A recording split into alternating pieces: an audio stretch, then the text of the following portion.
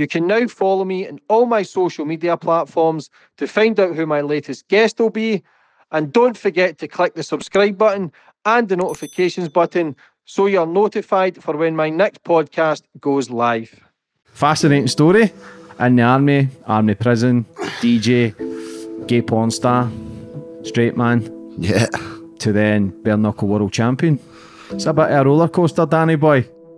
Anyway, I bashed him up with this with this iron, and then the light comes on. There's, you know what? I'll never forget it. He was up against the fucking the cupboard like this, just fucking shaking, like spasming sort of thing. And I was like, what have I done? Because I used to just like, go turn up, to ring someone and say, "Come on, man, come on, free drugs," and I just have like a, a sorry, like a mug there filled with like coke, and I would just like grab a spoon and go. Mm anyone who come round. Like it was, it was yeah, days on end. The, the best thing I ever done, the best thing I've ever done in my life was learning to not give a fuck what other people thought.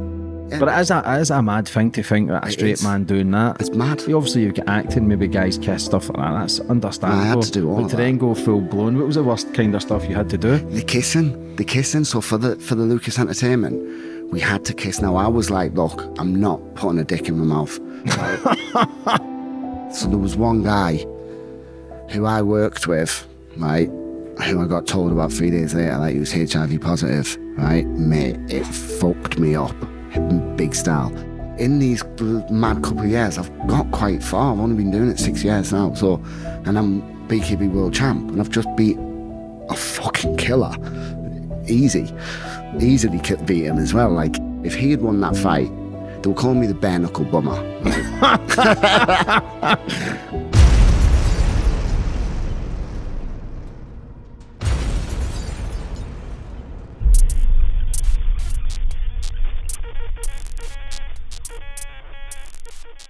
When we're on today's guest, we've got Dan McGraffin. How are you, Dan? I'm good, mate. Good. Thanks for having me on. Good to have you on. Yeah. Fascinating story.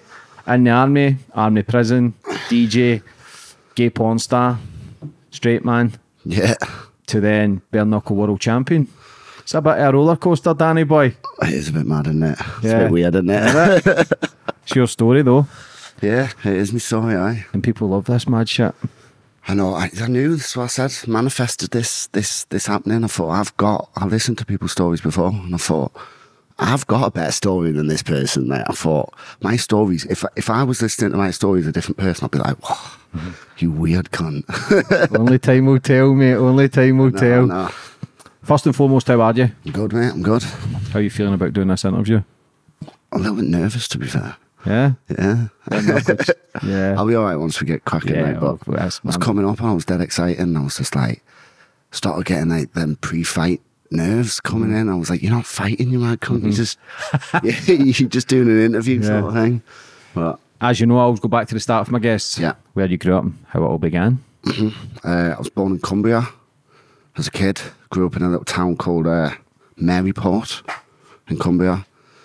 Um, couldn't really tell you much about my childhood there. Like lived, my mum and dad weren't together, but we lived on the same street. Me, me all my family pretty much lived on that whole street. Um, and then my, mum met an army man. Um, and oh, I think I was about four or five, and we moved to Germany.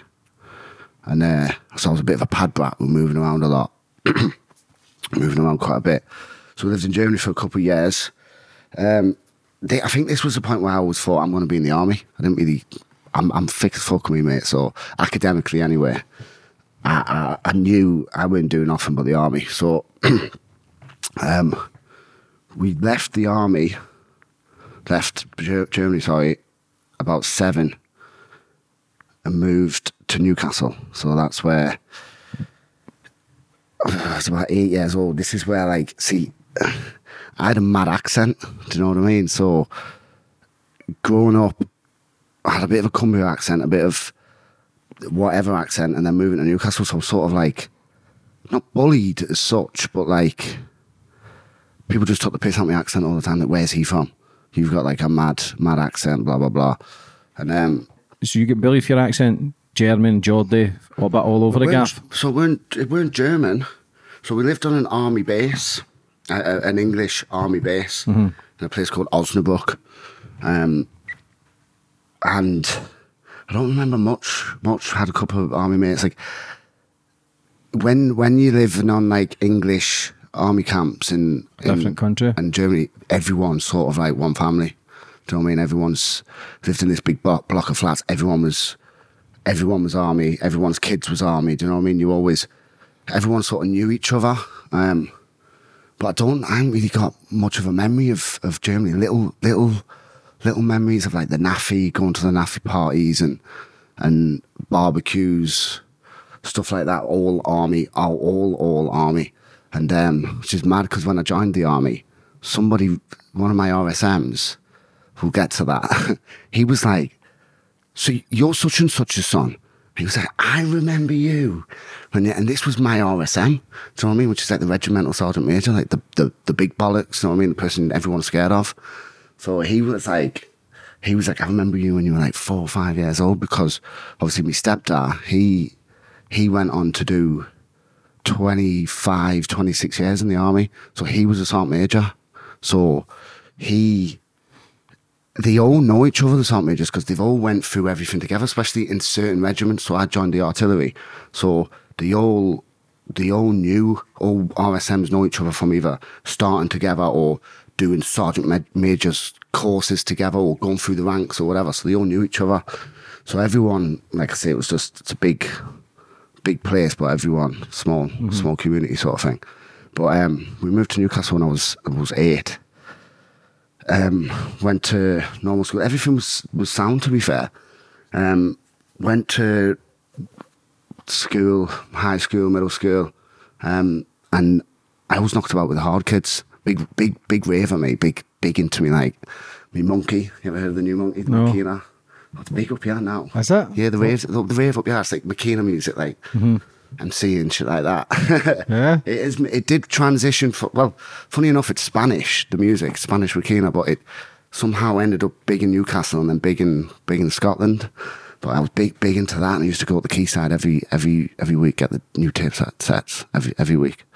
So the popular kids, the hardest kid in the school, he used to want my over earphone on me on me Walkman, so I was always with him. Do you know what I mean? So because I was always with like the hard kids, it was sort of like it was all right in school. But then my mum moved, right? Once she'd split up with me stepdad and everything, she moved to this other estate in Blakelaw, which was like total other end of where I was from, all my school. And it was rough. It was rough, rough as fuck.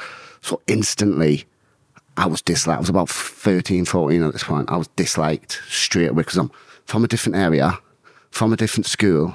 I sound a bit different anyway. Like I ain't got a broad Geordie accent. It's a bit like diluted a bit. So um, everyone took a total dislike to us straight away. So I used to have to get the bus from Blakelaw to Lemington, where I was originally from, knocking about with all my, all me, all my mates and that, all the kids, and then get the bus back. But then when I was getting the bus back, the way I had to go home, I had to pass everybody all the time. So I either had to walk like all the way around or like jump through gardens to avoid people, stuff like that. Mean, it was pretty heavy to be fair, like every day. Every, every fucking day I was just having to avoid people. I got stabbed in the leg What for? for being me. Mate, to be honest, when that happened as well, right? So pretty pretty bad one as well, right in my right in my leg there. So it just like just pierced the artery a little bit. So it, hmm. it made it pretty like heavy blood. Do you know what I mean? But when it happened, it must have been adrenaline. So I was walking down this cut. Sally went, I had to I had to get down it to get to where I wanted to be. Otherwise, I had to walk an extra twenty minutes. So I get up there and I walk through and they're all at the end. It's on a Friday night, there's about 15 of them all sat there and I thought, I've already started walking. So you know when you start walking and the spot you, you thought, I can't turn around now. I'm already like, I've come, I'm committed. So I thought, fuck it, I walk up. So I got up to the all and I thought, all right, we're past. And then as I just turned, turned me back, I just felt like this fucking thud pushed into a fence, getting cracked a few bits. But then I felt like a dead leg. Do you know what I mean? Like someone's just give you a proper dead leg. And I ended up getting away and I sprinted down the street, sprinted home, literally sprinted home. Fuck knows how I done it. Got home and then I was like, just pull me past down. I was like, and my ma comes in the kitchen. It's just But mate, it looked like a fucking, it looked like a fanny on my leg. It was just wide open, just blood squirting out. My mum started screaming. She's like, "What happened? What happened?" I was like, "I, I, I fell off a wall." still, which is mad. Till, still to this day, she thinks that happened because she mentioned it to me. Me bird the other week. She went, "Remember that time you fell off a wall and gashed all your leg open?" And me, my bird just looked at us and was like, "Fell off a wall." She was like, "What the fuck?" Mm-hmm. But yeah, so that happened for about four or five years. Like literally like fucking avoiding avoiding anyone I could see because nobody in that estate liked us for no reason. Just like if one person doesn't like you, the you know what kids are like, they just start chatting and Yeah. so I was always trying to hide from people and then um I started skateboarding night after I left school. But because skateboarding was more of a like it was like a goth thing. Yeah, it wasn't really not. cool. It's not. that. But it was classed as like something like that, and that was just you know what I enjoyed it. I just started randomly doing it with this. This me, me little brother started skateboarding one day, and he was like doing an ollie and that. And I was like, "How are you doing that?" Mm-hmm. So he showed us, and then I started doing it. I thought, I can, it's all right. This. So I was going to like the local skate park and that, but because I was like a chav, right.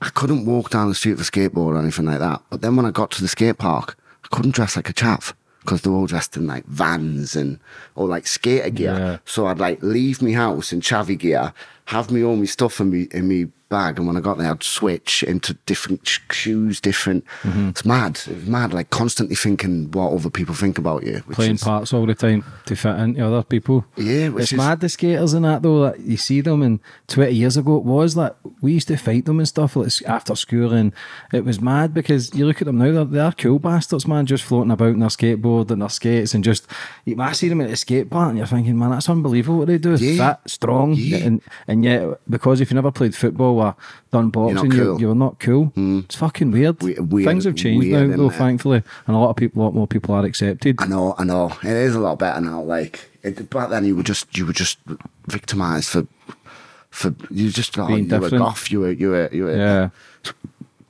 People who I did know from school would be like on MSN, be like. Uh, oh yeah, you were goth now. You were like a skater, and I'm like, no, no, I'm not goth. I'm not Mm-hmm. goth. I was just do you know? And I fucking enjoyed it. I was good at it well. Yeah. It was all right. It was really good. And then where we are now, about 15. And then, then I always knew I was going to join the army. army. I was dog shit in school, mate. Dog shit. Weed, smoking, fucking, I mean, even the odd fucking pill and that here and there. I was only, I was young, young, man, really young. Um, like I say, I was a rave. I was, I was, my breeding ground was the, the Monkey, this club in Sunderland, the new Monkey. Um, I was there constantly, and it was like a club that was open from 10, 10 at night till 7 in the morning didn't sell alcohol at all. No, no alcohol license. It was a private members club. Fuck knows how they got away with it. It did get closed down in the end. Like it lasted about ten years though, um, and it was just it, the the people who owned it were grafting the pills, like stuff like that. So I was constantly like on it. Then me, I staying at mates' house, whatever. Just didn't give a fuck. To be fair, do you know what I mean? Um, and then we, I was going to join the army. That was it. So I was about 16 years joined the army. Didn't give a fuck about school. GCSEs didn't care. I'm joining the army. I Did you just want away? I think so, yeah. Just wanted away from Newcastle. Wanted away from. I just always knew I was going to join the army. Like, I was just grew up with that. Like being a pad brat, I just everyone. I don't know. It was just constant army. I always knew I was going to join the army, and I always thought, don't matter how f- how thick or smart you are, because the army will have you. Like, there's always people without the best educations, like go and join the infantry or or the artillery or something like that. So I um, I joined the army. Little did I know that when I joined the army, they put me through all these courses to get the equivalent A to C in I can't remember what it was called now. Like changed changed the the exams now, but it was like anyway, it was the equivalent to to an A to C. So I got there and I was like, they like, you didn't do very well in school, so you need to do these courses. I was like, fuck's sake. I was like, I was telling the teachers, I don't need this shit. I don't. I'm joining the army.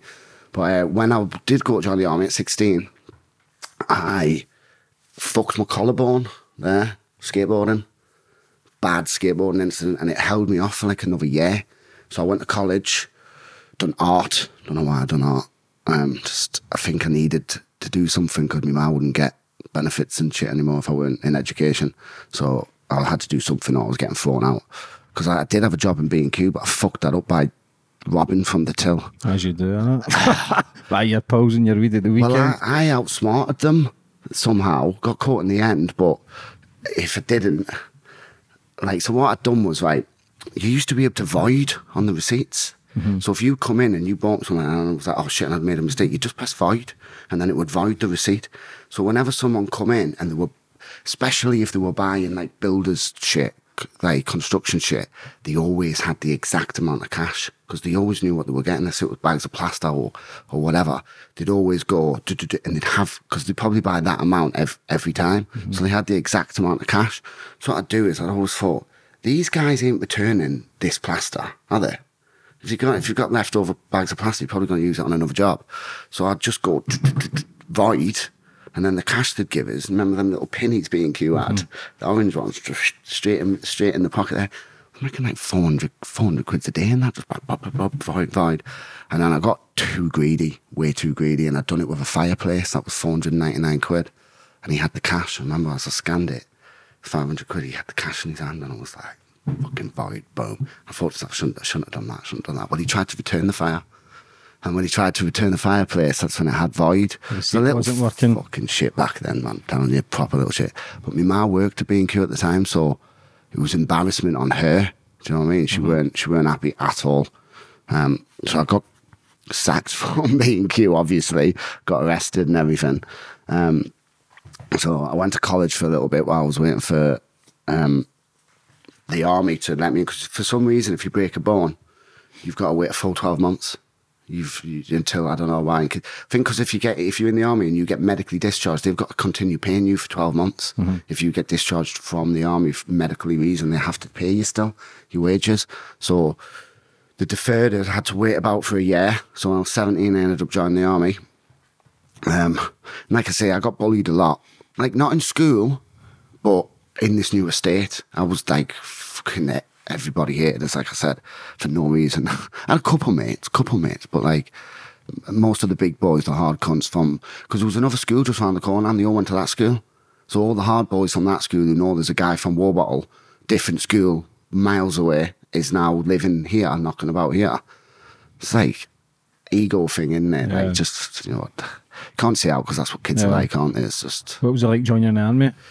well, Was it exciting, or was it just more fear that the potentially could get bullied in there like you did in the streets? well, I was just buzzing to get away, get away from it all, start start over again, start a new life, and then when, cause I was fake, like, like the the instructors would be telling you something, and obviously they, they take the piss, especially in basic training.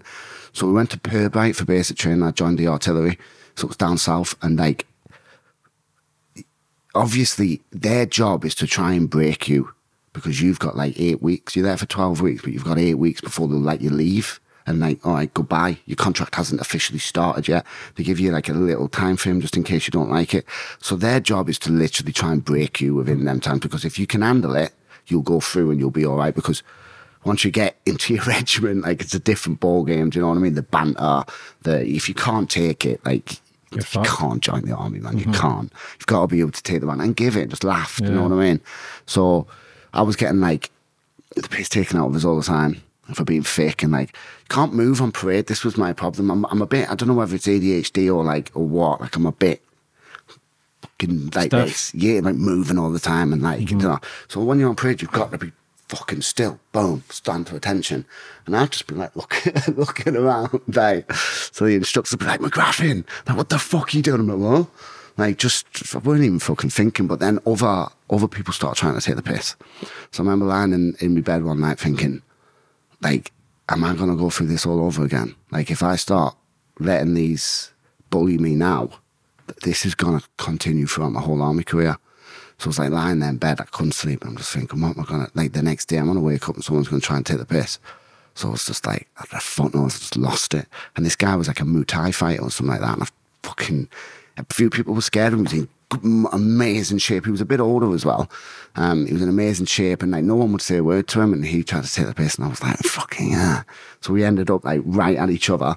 And then I thought, fuck this, anyone who says anything, I'm just gonna I ain't letting you take the piss out of us anymore. I'm not not going through this again. Like hiding from people, not want to go out with people, blah blah blah. So it was I could see it taking that little bit of route, but then after that, especially once you got to like phase two, phase two's a little bit more relaxed. You can start leaving camp and stuff like that. Well, that's when drink got involved. so now we're going out. We're in a place called Salisbury, and um, down south, and uh, we were out all the time, all the time in Salisbury, and I was getting mortal, mate, mortal. Jaeger bombs, like the lot. I was only a kid. You know what I mean? And I was getting fucked. And then obviously you're fighting with other regiments and stuff like that. And I just started thinking I was some boy. Just started thinking I'm somebody. And once you have the drink, it's like mad confidence in it. You think you're fucking hard as fuck. So I ended up just scrapping with people all the time. And then I ended up, it was one of my mates actually, one of my good mates. So we went through basic together. Ended up going through phase two together. He was out. I don't know what the fuck was on up with him. He was on a mad one. And um, he got kicked out of this bar. And it's only a small town. There's only a certain amount of clubs and bars in in the town. You can't just go like, all right, we'll go somewhere else because there ain't many places to go to. And if you've been kicked out of one, more than likely you ain't getting in that other one because they're like radio to each other, don't they? So uh, this this guy's been a knob. And then one of my mates is like, I'm going out to see him. He's been kicked out. He goes out and he cracks me, mate. So I'm fuming at this point. I'm like, but who does he think he is? Well, so I go out and then I'm like, what's your problem? And, they, and I'm good mates with him. And then he cracks me. I was like, oh, and the bouncers were watching it, but I looked to the side and all I seen was these red berets, and that's the police, that's the army police, the military police. I seen them walking up the street. So I was like, right, I ain't got to do shit. The, the bouncers were like, we've seen it was him. Look, go back in, enjoy your night, blah, blah, blah. So I've went in, left it, he's went back to barracks, and the more I've drank, the more I'm getting more pissed off. I'm like, who the fuck does he think he is? The cheeky little cunt. I'm getting more and more pissed off. So I get back to the camp and I go straight to his block. Get up the stairs. It's an old school army blocks, these, where like sharing rooms, eight man rooms sort of thing, and like them, them metal beds with green police mattresses sort of thing. Do you know what I mean? Old school. And then uh, I see him coming, out of the communal shower, and he had a towel around him, dripping wet. And I just ran up to him, just started fucking battering him. And you know what? He was an hard cunt, you know. He's an Irish lad, and um, he was an hard bastard. Him, and he's like, he's soaking wet, so I'm slipping all over him. Do you know what I mean? It was mad. My mates, I'm glad they weren't like. There was camera phones and that at the time, but like they weren't the greatest because we're talking 2005, six or something. 17 Yeah, years yeah. ago. So um, it been like, you know what I mean? We're rolling on top of each other. He's naked. Do you know what I mean? They're literally bollock naked. So he's on top of it. He's fucking ba- bashing us. Somehow I ended up pulling him off as anyway. This, this, um, this instructor come and he was 2-9 commando, which is like the, the, um, the Marines of the, of the artillery. So each regiment has like, you've obviously got the Marines, you've got the Paras, but in some of the other regiments, you can have like they call them snidey ones, like you were snide para. So if you were in the in the um, artillery and you were a para, it was seven RHA, seven para RHA, and like the real paras would like look down on these because then you're not in the infantry, you you attached. You still had to go through like the again it's school schoolboy games again, isn't it? Even within the army. So um, he was one of them. He was quite fit as fuck, and he's come. He said, "What you doing?" He brought us up, and he was like, "I thought we are gonna get fucked, yeah." And he, goes like, "You back to your block, you back to." He's obviously seen it a million times. He was a sergeant. I mean, he's seen it all back at camp. And we're we're still only trainees, just phase two trainees. So he's like, "Go back, go back." And anyway, he must have been pissed off now. So he's come back. He's come back to my room, and they had these like these um did did did did to not to get through. But because he was one of my best mates and we were all mates, he knew the code. I knew the code to his room. He knew the code to my room. There was a big front door. Right, must have been about one, two o'clock in the morning. Um, the big front door. I've missed a bit actually. I missed a bit. I went to the end there.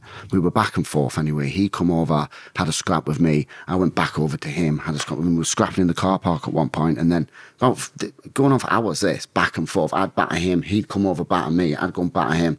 This same sergeant seen us in the car park. He said, "What are you two doing?" He's like, "You back to your. I'm in boxer shorts, mate. I've been chased with a fire extinguisher by him, like fucking mental." Right? And this is one of my best mates, but just pissed up, badly, badly pissed up. And um, so he goes, back to your fucking room, you back to your room, you back to your room. Anyway, it's all died down at this point. And then the, the main door on the building was like a, a windy door, well, it shuts itself. And I heard, poof, I just remember going, open my eyes. And then I heard his Irish accent walking down the corridor. I thought, fuck, so my room was that, my bed was the first one by the door the very first one.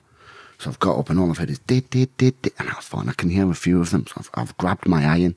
Obviously, you have to iron your clothes in the army. It's a must. Every day, you have to have your creases down your, your creases down your front. Like, they, they, if you're, you go on parade and you've not got gleaming kit, you're going to get picked up on it. And like, a guide, they call it, which is like when they punish you somehow, they'll give you like jobs to do or something like that. So um, I've grabbed my iron and I've just fucking levered him with it.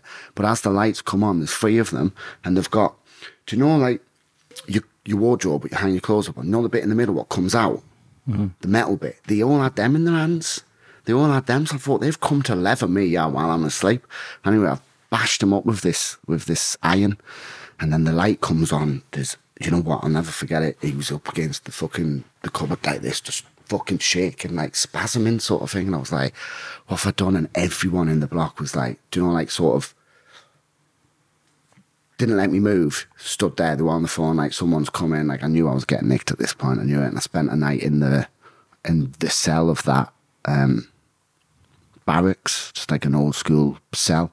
Spent the night in there and then um obviously the next day he said his part as of my part, but it was a heavy offence that, do you know what I mean? But he, I remember seeing him out the window the next day. He had like um like a, a, a mummy. Just, just stuff all over his head like I'd let this this this iron was in pieces luckily. Is that the murder on it? pretty much yeah. And luckily one of my best mates at the time he fucking hid that iron. He hid that iron. So I'm like when they asked my story I was like look I took they had these poles in their hand and I said I took the pole off him and I battered him with the pole um, so when they went to his room, they noticed all of the poles were missing out the cupboard, so it was kind of going in my favour. The thing is, with the army, especially in phase two, you um, so everyone's getting distributed to your chosen regiment. You choose in phase well, in phase one, you choose where you want to go. Each each artillery regiment has their own different equipment, like the AS90s, the light guns, the could even be the drones, like or the MLRS, which was the Newcastle regiment my stepdad was in, which is like big fucking rockets, giant rockets. So you all choose where you want to go. I, I had chose the Newcastle regiment. Um, and you can't go off to your regiment whilst under investigation because you don't get the army deal with the charges. So if it's a civilian offence, if I got nicked in the civvy street, the army take over. The, the the the police can't charge you. The army then take over and they'll charge you. So they they take over it. So they didn't want us to going back going to our regiments we had chosen because they don't want to deal with it when it comes because we were under court martial, which is pretty bad in the army. If you get court martialed, it's like it's like going to Crown Court of, of in Civvy Street. So we're getting uh, we're both getting court martialed, which is taking a while. We both have to have like solicitors and we're we're we're pals again by this point. So this this took a year. So you're only supposed to be in phase two training for 12 weeks. You get your driving done, you get like certain, like you learn to drive the Jeeps, off-road, stuff like that. You do certain, certain things in phase two, then you go to your regiment. So we were like, we were doing, we'd done all the courses, so we were sort of like stuck there, but with nothing to do. Do you know what I mean? Both of us, so we were sort of doing the same things over and over again, the same exercises, going away to like when you go on exercise and like Salisbury Plain or or something like that. You do we're doing them over and over and over again because this court martial's taking its time. So during this time, I fucked up again. How so? So everyone's going on this exercise, and I thought I ain't going on this exercise because I've done it twice. Thought I'm not. So I, I blagged illness, blagged some illness, went to the med centre, blagged some illness. Thought I'm staying on camp. So the sergeant major says to us, he said, "You're confined at the camp." He says, "You're not just because everyone's got the camp was well, our part. The camp was divided by three regiments. So our regiment, two four regiment, I think it was, was the phase two trainees. So he said, "Yous aren't going out. We could go out on the weekend usually. Yous aren't going out." He said, "Yous are confined at the camp." He said, "You're not going out." So I tried to walk off camp couldn't stop us. My car was flagged up as it was because of the registration, so I just couldn't get off the barracks at all. So um, I'm in the room and this other lad comes in. He was on the sick as well, and he goes, "Well, we weren't on the sick. We blagged it, but he um, I see one of my mates in this room. I got on with him really well as well. He left his car keys out."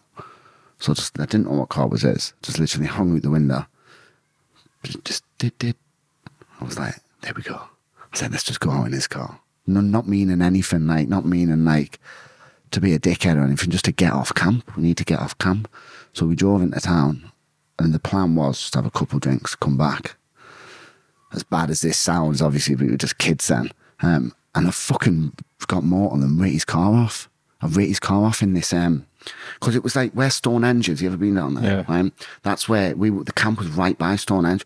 So when you come along, like Stonehenge is on a motorway, isn't it? Like if you're on the motor, you can see it. On that motorway, there's a little turn off, and it's like a um, it's like a country track, and it leads up to where it's like a shortcut to where our our camp was.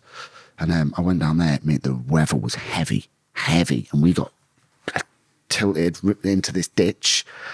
Couldn't get fucking out this ditch. Stuck, literally stuck mortal. You know, and you're like, for some reason, when you're pissed, you don't think about how bad the situation is, and then you It's always kinda- a good idea. yeah, and then you open your eyes, hung over, and you go, and it all hits you what you've done, doesn't it? You go, oh fuck! So I was like, shit. I was like, we need to get this. Um, we need to go and get this car. But what happened when we were there? Funny enough, as we're walking along the main road, the police pull, covered in mud, the both of us, and it's like, what? What's happened? And then it comes down, the car's there and everything.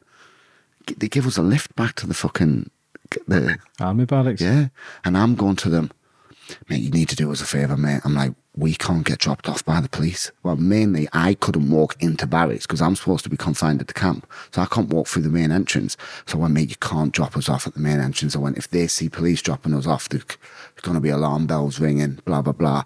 Don't know why I didn't get breathalyzed, like, but they said in their statement, like, the main one didn't seem intoxicated. Only the other, the other one seemed intoxicated because I had blagged. I was just picking my mate up from from the out on the piss and just, and this has happened because of the bad weather.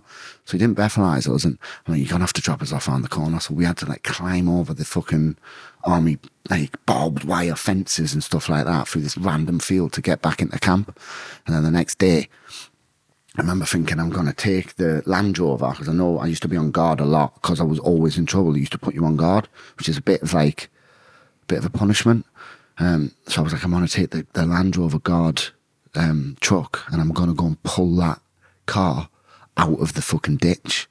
So anyway, I've woken up in the morning and they'd all come back. The coach pulled up in the car park and they're all getting off. So anyway, he spotted his car. he's come in and I went, mate, I've got something to tell you. And he was like, oh no, he didn't. I told him first I've got something to tell you. He's like, what? And I didn't think he'd grass. I just thought like, look, I'm going to pay you for your car. I'm going to buy you a new car, whatever. He went straight over, grassed on his. And I'm not surprised, to be fair. So then I've put back into that fucking cell thing. Um, so I was there even longer. I had two court martials, one for stealing the car off camp and the other one for hitting the guy with the iron. What's the sales like in the army? These ones, well, these ones were on camp, so they were like a cell. They were a cell usually in the guard office. Um, it, like when you get to Colchester, it's a bit different, and and like the glass house they call it. Mm-hmm. Well, it's called MCTC now. They don't call it Collie anymore. It's Military Training Correction Centre. Yeah. So you've got uh, two court martials that Yeah, two court martials. So I'm my my regiment don't want me. So at this point, my stepdad, he was a sergeant major at the Newcastle regiment, and he's hearing all about what I'm doing because everyone knows who he is. Everyone knew my stepdad was a sergeant major, so I got a little bit like leeway.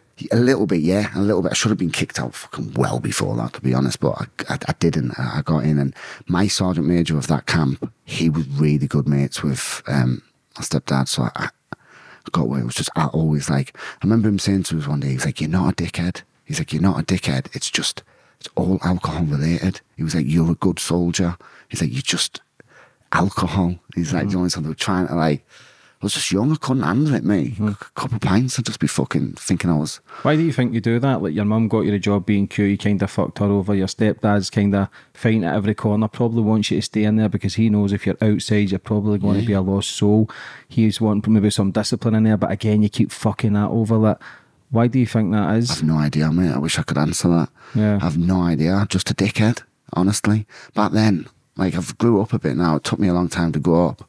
Probably about twenty years by the time I grew up, like, but um I don't know why I fucked it up, but I did feel like a bit embarrassment over it, but I was just like, look, he, do you know what the thing is though? It took him nine years to get his Lance Jack, which is like the first stripe, because he was constantly fucking up when he was in Germany. It took him long. Everyone was saying he was never going to get promoted. He was always fucked up. He was always going to jail, like just for silly things. So he couldn't really say a lot. But once he got his Lance Jack after nine years, he flew. He lit, like once he'd switched on, he flew through the ranks. Like Do you think just- he's seen a bit of you in him? Maybe, maybe. Well, I've grew. He was the one who who I grew up with. So like, like my dad was around when I was a kid, but then we moved to Germany. So, like, I didn't see him. Couldn't keep in touch with shit. I don't think him and my mum. There was no mobile phones back then. There might have been, but would have been them fucking Yeah. old school things, um, which nobody had. So you couldn't really keep couldn't really keep in touch. And he moved house a lot, but in this one area, Maryport. So I remember like I didn't really have sort of lost touch. I tell you what, there's this story with me, me, me, brother, right? So growing up in Maryport, I obviously recognised my brother. Now it's been years since I've been to Maryport because we've lived in Germany. So and my nana lived there. So I spent and everybody lived on this same street. So anyway, I'm about eight, nine years old, and I see that I'm with one of my mates, and I see this guy.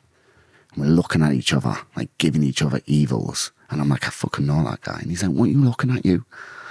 And I'm like, like, we're going to have a scrap. And I says to this kid, Sean, I went, who's that? He went, his name's Chris. And I went, Chris McGraffin? He went, yeah. So I went up to him and he's like, what? And I went, you're my brother.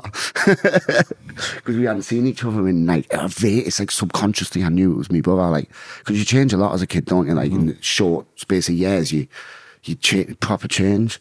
But yeah, so I didn't really have my dad around a lot until I got a bit older and I could start making the decisions for myself to like get in touch with him, go and see him. He had moved to Blackpool. So it weren't until then. So re- really back then, John, my stepdad, he was who I had been kind of brought up with until I was hmm. about 12 maybe. Did you hold any resentment against John once it moved you away from Germany because you No, couldn't see your dad? no, no, no, no, not at all. Didn't He was a good guy. didn't yeah john's a good guy yeah so was my dad like john was a good guy do you know what i mean I, I've- learned like my music my taste in music it's all because he was constantly playing cds like do you know what i mean like Mm-hmm. little things like that like i just remember john was he was a good guy john he was always buying me stuff he was always always uh, no problems with john whatsoever Did you want to be in the army or were you doing all that shit to kind of get I kicked wanted out? to be in the army. I wanted to be in the army. I did. I wanted to be in the army. I don't know. wh- I don't know why. I do regret it. I tried to join the army back um, just two years ago because they changed the they changed the age to um they changed the age from thirty two to to like thirty nine. So I was like, I can join the army again, but the, the neck tattoo is too much. They said. So I thought I'm gonna do it right this time. I'm gonna mm. fucking do it right. I didn't. It weren't for the money or nothing like that because I've I've made my money elsewhere. Yeah. I mean, like OnlyFans, all that sort of stuff. It was because like I felt like I failed. I failed in the army, so I had to like get that back from me, mm-hmm. sort of thing. So you've got two charges hanging over your head. What happens there? So How old were you? 18, 19. Still a kid, man. and It's hard to say fucking screw the head and Mm-hmm. Make changes. If somebody told me 18, uh, do this and do that, I'd have told them fuck off. Well, John decided you're not coming to my regiment. He's like, you're a bit of a liability. You're not coming to 39 Regiment in Newcastle because one, it was home. So all my friends around, and he had, he used to have people who were from Newcastle and they didn't live on barracks because they were from Newcastle and they chose the home regiment. They'd be ringing up sick or the mum would be, oh, he's not coming into work today because he's, he was like, you're not coming to Newcastle. He's like, I'm sorting you out. And anyways, this regiment in Germany, 2-6 regiment, was a big, everybody wanted to go to Germany. There was only two regiments within the artillery that were based in Germany. So they were always, 2-6 was the main one because of its location in Gütersloh. Um, everybody wanted to go. That was everyone's first choice. Only the best got into that sort of thing. If you were a dick, you didn't get into that. Well, he sorted it out, and I got that transfer because he was like, "You're not coming to my regiment." He went, "Name a regiment, and I'll sort it out." I was like, two six. And he was like, right, cool. Thinking, you're not going to be able to sort two six for me. So he, um, next minute, I get called into the captain's office and it was this transfer over, you're going to two six, blah, blah, blah. He's like, I don't know how this has happened, but the powers above have granted it. And you're going to two six. So that was just basically get out of the country, go and sort your fucking life out. Germany's the wrong place to send me as a pisshead kid. Mm-hmm. Definitely the wrong place. But these two charges, I had to wait for them to be done. So I'd done these two. Two. What they ended up doing was, rather than keeping us in two forward, to say I said there was three regiments distributed in the one camp. Mm-hmm. To, rather than keeping me going through t- training over and over, I was like, this is winding me up. It's been like a year and a half. Like everyone, I'm seeing recruits come and go, come and go constantly while I'm still there, just seeing fresh faces come 12 weeks later, go. So I'm just seeing these fresh faces over and over. So they put me onto one of the other barracks on um, on camp, which was um, oh, was it three four battery or something like that? I can't remember, but it was basically you're out on the range every day, every single day you're out on the range, and it was either classed to other people in other regiments. This was either classed as the naughty boy regiment because it was a posting. People got posted there for two years. So even if you were either you were a mong at your job and just not very good, they send you there because you're on the range every single day. You end up coming back switched on because you spend two years learning your job every day rather than like when you when you're back at actual regiment, it's a bit more relaxed. Sometimes you're not doing a lot all day. Just turn up to parade. You might have PT in the morning. You might you might just be sweeping around or just you know I mean, doing not not a lot sometimes. So they'd send you to this regiment either if you were a dickhead and always getting in trouble, or if you were a bit of a not very good at your job. So I ended up getting sent there, which I loved. I loved it because I weren't a recruit anymore. I was back normal. They were treating me like a like an adult, like a sports sergeant. I was like, come on. Was like, please, I can't. I'm getting in more and more trouble because I'm stuck here. I was like, it's like a vicious circle. I'm stuck here and I'm bored. I don't know what to do. So he, he, he sort of took a little chance in us. Now everyone knew I was the dickhead from the other battery. Everyone had heard about us. Everyone knew. You know, but I proved myself then. I done really well. I got on with the sergeant major. I got on with everyone, and I proved I'm not a dickhead. I was just, I was Young just- and yeah, yeah. I was still young. Don't get us wrong. I was still young. I was just with older people, and I was just getting treated a bit better by this guy. Like this guy Shane, he was a sergeant, and he was a Newcastle supporter. So like we had a bit in common there. Do you know what I mean? So he he was always like, "Oh, Geordie, Geordie," like.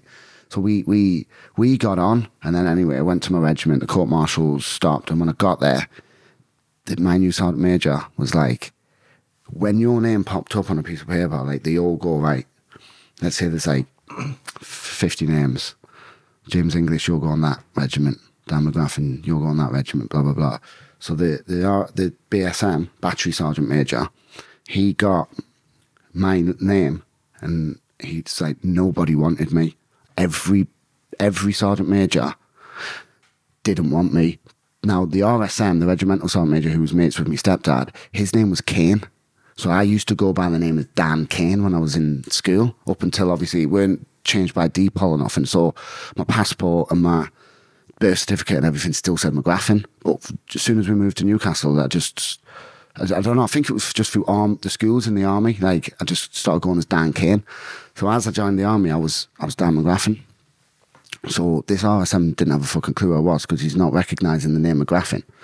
So anyway, we I get told by my sergeant major, nobody wants you. And when I got told you're having, they basically done a fucking short straw of who was getting me.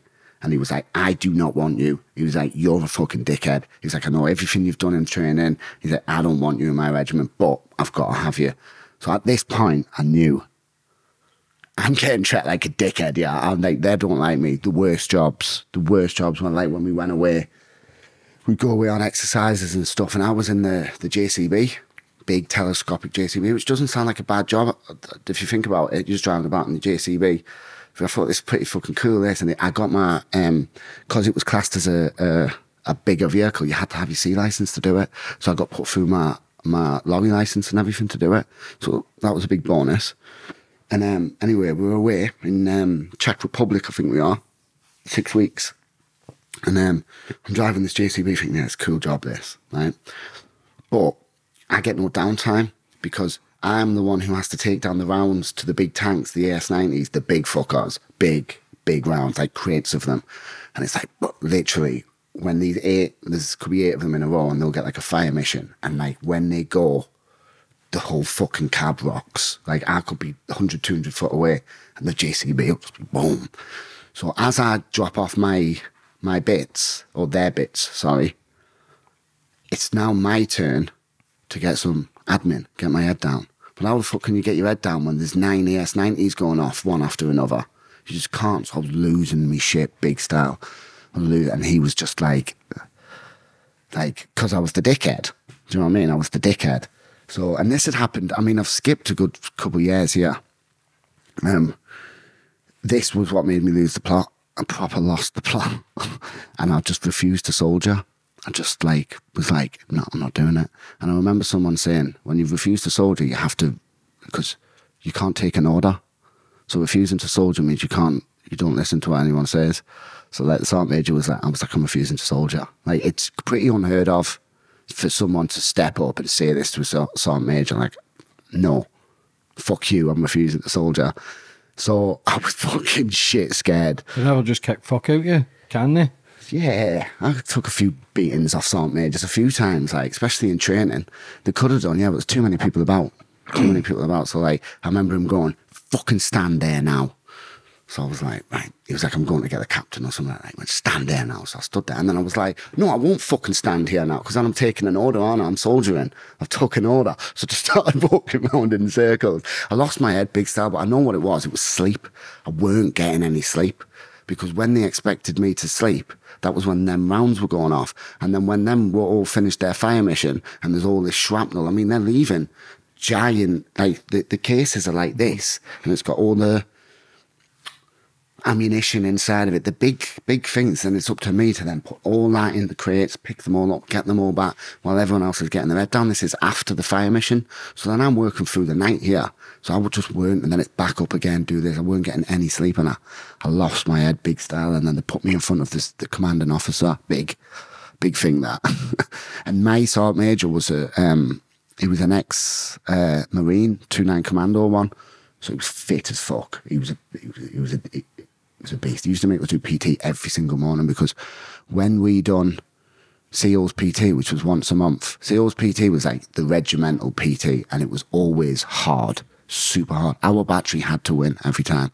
So he beasted us every single morning. And we did win, to be honest. We were all mega fit, but this guy was dead scary. Anyway, we get put in front of this CO and I lost my head and I just come up with a mental story. I'm not going to repeat it because it wasn't true and I, I don't believe in that shit anymore. If I say shit, shit can happen. So I made up this story anyway. Lost my head, somehow started crying. don't know how, I just fucking lost it. So they give me some compassionate leave. And they said, go on, go on, get, sort yourself out, come back when you when you're sorted. So anyway, while I was back on that leave, I went to some rave, got super fucking pissed, drove my car, flipped it on the central, hit the central reservation, um, and fucking flipped it. Didn't even have my seatbelt on either. Big turning point in my life that. Didn't have my seatbelt on or anything. All I had was this little little scratch on my head there. And I thought, I got out of the car, it was about seven o'clock in the morning on the M1. And I was like, some woman stopped. She was like, Are you all right? And I thought, because the car I got, when you're in Germany, you can get uh, tax free cars and they give you to the the army people all the time because they know you can afford it. So they finance you. So I had like a we I had a VXR. At the time, you couldn't get insured because it was a two liter, and I was like nineteen. so I was it was all right to drive around Germany because it had an English reg, reg plate, and you had to do something called B, BFG British Forces Germany. So you had to like turn your car from English registered, same registration plate, but it would be BFG sort of thing. So that means like if you went through speeding cameras or anything in Germany, it, it they could link to who you were. But I didn't do that. I got someone who I knew to, to pass me off. You had to have a little permit. If you didn't have a permit, you couldn't get in camp. So I got one of my mates to pass me off on the sly. So I wasn't insured on this car. So anyway, I smashed that car up. I hit the central reservation. I remember getting a letter through the door, like I caused 30 grand's worth of damage on the M1. Like this was when I was in jail, this in Collie. Um, and then I thought, I'm not going back. So I went AWOL. I went AWOL and I had, I'd met a bird who was from Northampton. So I was living with her. I was getting phone calls off me ma, me stepdad, like, what's, where are you? Please, like, they're looking for you. They were parked up outside my house at one point, like, and I'm like giggling to myself, like, ah, they're looking in Newcastle, like, not a clue that I've met a bird in Northampton and that's where I was. So I was hiding out there for like a year, good year. And then I ended up getting a job, and you can't get a job if you're AWOL, but it was agency work. So I got away with it somehow, and I got this job. And uh, I thought, oh, the army are full of shit if you get a job. Like, because they stopped paying us after about, they paid us six months though. Six months of being AWOL, full pay. So um, once that had done, I got this job. And uh, they, nothing happened, like I said. So when I didn't have the agency work, I had my HGV. So I tried to get a job at um, UPS and I put the army as a reference, thinking they're not going to check. But they did. And they were like, he's still an active short soldier. Can we have the addresses give you? So obviously they linked that to them. And next minute I had like nine officers knocking on my door at two o'clock in the morning going, um, you're AWOL from the army. What are you talking about? I'm not. I'm hanging out the window. I'm like, I'm not even in the army, you mad? What are you talking about? So anyway, they come in and then they just see me army bergen on the floor, like loads of army stuff just kicking about. Do you know what I mean? So anyway, they nicked it, kept me in, just kept me in somewhere for about nine days until someone from my regiment had come and picked me up to transport me to like a holding place. So that was another court martial I was getting at this point, which I got kicked out for. I did get offered to soldier on. They did say, look, because by the time I'd got back into the routine of ironing my clothes, getting back into being a soldier, I was like, all right, I'm back into the routine now. I was like, I wouldn't mind stay, soldiering on. They offered me to soldier on, and I said no at first. And then when it come to me changing my mind and saying, can I still soldier on? They said, nah, it's past that now. You, you're getting discharged. What was that feeling like for you, getting discharged? I didn't really give a fuck. I didn't. How long did you do in the army? Six years. And you get free court martials. Free And what happens when them? They all get squashed. Yeah, you get your you get your time. You either get collie or you get like fined. What's Collie like? The army prison's It that? weren't too bad. Is that army prison? Yeah, that's Army It's in Colchester. Yeah, it weren't too bad. There was a lot of a lot of like stories of of Collie when you're in there, when you're in the army, of how bad it is. But it weren't that bad. I think they tell you them stories so you don't go there. What sort of stories? Oh, just like you've you you get fucking trapped like shit. You've got to clean, you clean like not like the cliche stories. You've got to clean the toilets with toothbrushes and You see in the films? yeah, not like that. Nah. Not like that. No. To be honest, it weren't too bad. If you're soldiering on, there's two wings, A wing and B wing. If you're soldiering on, they send you to A wing, and you have to do you have to do PT every day. You have to stay fit. You have to you have to do everything as in you are still in the army.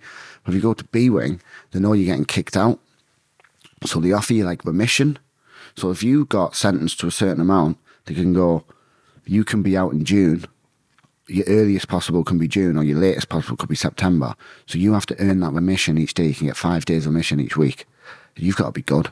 You've got to be, because most people just go, I'm getting kicked out anyway, fuck you. What? What are you going to do? And they'll just ride it out.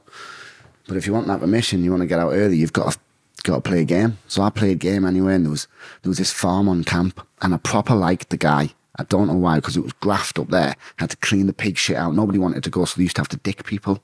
So they'd get you on a parade in the morning and Collie, and they'd just go like, you, you, you, you. And I always used to volunteer for the farm because I liked the guy. I just like, I had a good crack with him. So, and he liked me because I'd turn up and graft. I'd, I'd clean the pig shit. I'd fucking do all of that. It was quite cool to be fair on that farm. Like you'd feed like eagles with like um chicks, not like with the, the glove, glove on. Straight in, take its head off, neck its head off, and then take off with the bird. Was class. And he'd always let me do that. I don't know why I buzzed off that, but just like I just buzzed off the farm. So because I always, because I always volunteered for the farm and he always spoke highly of us. I always got my remission. But then me bird, the one from Northampton, she was visiting us. Now it's not a proper prison, so they, they're not allowed to search you. They're only allowed to search us. They only have rights to search us as as because they're not prison guards. They're in the army. Mm-hmm. So she'd come in and she'd she'd be sneaking me all sorts in, like a big pouch of baccy, because baccy was worth money in there, and everyone had money because you're in the army. So back then you would just be like you'd ring, ring, and I'd ring my bird, and I'd be like, "Has any money been transferred into the into the bank?" And she'd be like, "Yeah, yeah, such and such." And I'd be like, "Okay," and I'd, I'd be distributing the baccy. I made a fortune in there, to be fair.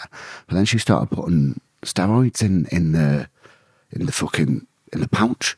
So every time she'd meet us, she'd she'd pass us it. We had a, a nice little routine of how I would get it. So she'd pass me it quick, and I'd just hold it there. and then I'd go to the toilet, but they took you to the toilet. You see, if you went, I'm going to the toilet, there'd be two of them. One would be stood there watching like everyone speaking or whatever, like supervising, and then the other one would take you to the toilet. So what I would do was I'd I'd wait till somebody it would just be sat on my lap there, and I'd just wait till someone went to the toilet, and then as they went to the toilet, you'd walk through this door, and just as they would get to the door, I'd go, "Can I go toilet as well?" And they'd go, "Go on, quick." So during this little point where I was unsupervised, I'd be like fucking really stashing it, stashing it good because you get searched. So I'd be just putting it down there. I was selling these one jab of steroids, like test, whatever the fuck it was. Couldn't even tell you. I'm uneducated on that shit. But I knew it was worth money. So one jab I was selling for a tenner, a tenner a jab. Yeah. So I'm, I just made some money in there. But anyway, one day I come back from the farm and I'm searched. And fuck knows why. But you've got them pockets on your army gear. They're the big pockets. So he's patted me down and he went, the fuck's that? So he's went in and he's pulled these ta- tablets out and they've got like Arabic written on them and everything. He went, what the fuck are these? Oh, and I got them from the med centre and he was like, the fucking Arabic, you daft cunt. And I was like, so anyway, puts me in this room, don't move. Searched, um, ended up locking the whole prison down, every the whole collie, everyone gets locked down. And then they done a search, the whole, the whole wing got searched, everyone's lockers. So obviously they found loads of shit in my locker. They found like lists because I was double bubbling backy. Like I didn't smoke, so I would go to you got seven quid a week or something like that, and I would buy backy with my money for the from the shop, and you double bubble it. You pass it to someone, you get double next week. Do you know what I mean? I had like fifty pouches of backy under my mattress, which I was selling on for like 10, 20 quids or whatever like that when people had the money. Um, so yeah, so I got caught with that uh, and I ended up getting extra sentencing. So I fucked up in Collie as well. How long did you end up doing altogether in there? Uh, about nine months in total. So once you get discharged, what's, what happens? What's the career path like then? Kind of rebelling against anybody who tells you what to do. Is it seem you were getting told what to do? Does part of you feel as if you were getting bullied? No, not when it come to like the The army high- stuff? the ranks, because I was so young when I joined. You just automatically looked up to them and respected them. They were older than you. They were higher ranks than you. So if you're getting bollocked of someone, you just took it. Yeah. Whereas I found there was a few older people. There was one guy, I can't remember his name now, but I remember he- joined when he was like 29. So he was having to listen to younger people bollock him. Yeah. That must have been quite Yeah. hard. So what happens when you get discharged? So when I got discharged, I felt like I had my life back. I moved to Northampton with this bird. And I, because I joined so young, like I said, I was smoking weed and I was taking the odd pill and that when I was younger. I was going to the monkey, so I was fucking boom. Buzzing. Yeah, I didn't do uh, no drugs in the army, no weed, no, no. I, I was quite good. Didn't I stuck to that? That's the one thing I did stick to because you you instantly discharge. You get caught if you test positive in the army, you're gone within a day. You're out, bags packed, fucking see you later. It's like the number one rule: no drugs. So Yeah. So you did have a bit of y- yeah, I did stick to that. you did stick to something. 'cause was if you wanted disciplined out, with you're that. just going to smoke a joint or you're going to do Yeah. something to get kicked out. a lot of people used to sniff, and some of my mates, some of my mates did smoke on leave. Because like, if you're going away on leave, Only thing with the smoke, it's in your system for A long ages. time. The Charlie and that's two, three couple days. of days, yeah. And you'd see people, you'd see people come back off like off leave, and you all you know, know you're getting tested. You are if you've been on leave for three weeks, you're getting tested, especially in phase two. You're getting tested when you get back. If you go on leave for t- Christmas. And you've got New Year and all that, and you go back to work on like the fourth, fifth of January, you're getting fucking tested. Mm-hmm. So you'd see people like come back after Christmas leave, necking cranberry juice, Water, cranberry juice, and yeah. orange juice, you know, to just flush it out of you. Like you'd see them do it, and I was quite good. I didn't. I stuck to that one. So when I did get out there and I started going to the raves and that again, I was like, I felt free. I felt, I felt like I can fucking do what the fuck I want now. And I went on a, a fucking five year sesh. I just went on. It just got worse and worse. I was going out every day. This is where I was in a small town of Northampton. Everyone know me. Everyone knew me as Geordie Dan. So everyone knew me like it's just do you know that small town mentality? Like everyone knows everyone sort of thing. So I ended up grafting anyway, and I, I ended up getting a fucking heavy round, mate. A heavy, heavy round. This was when like that MCAT bubble was was huge.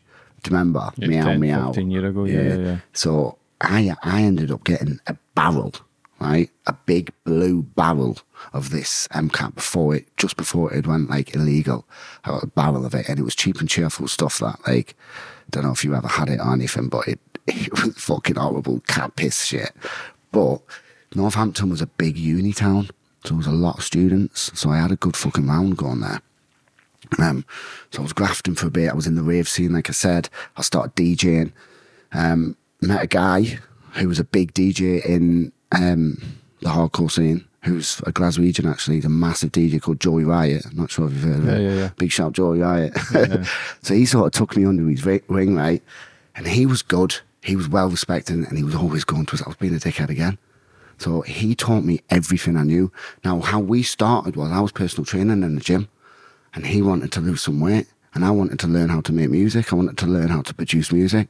So I was with him all the time. We were sort of exchanging exchanging sessions for sessions and stuff like that. And obviously I was grafting and he would he would want some stuff to take to his gigs and stuff like that sometimes. So you could have it, have it, mate. Do you know what I mean? I was doing that good. It's like, ah, oh, you'd be like, oh, can you come round? blah. I'd just be like, chucking him like cues and it. Come on, have it, have it. Whatever, pills, coke, whatever the fuck I was grafting at the time. And um, and I was, mate, I was killing it. To be fair, like I was doing really well. I wouldn't say well, but so then I got, I started to get caught with all that. I had a good run. I did have a good run. You always get fucking caught, mate. Always, always, always. Always. this is why you have to have that about you to know when to stop. Yeah. I don't do it. Yeah, oh, don't do it. Yeah, it's a bit hard, though, isn't it? Got to make Yeah. a quid somehow, ain't you? So I was doing because I was going to these raves. I weren't getting searched.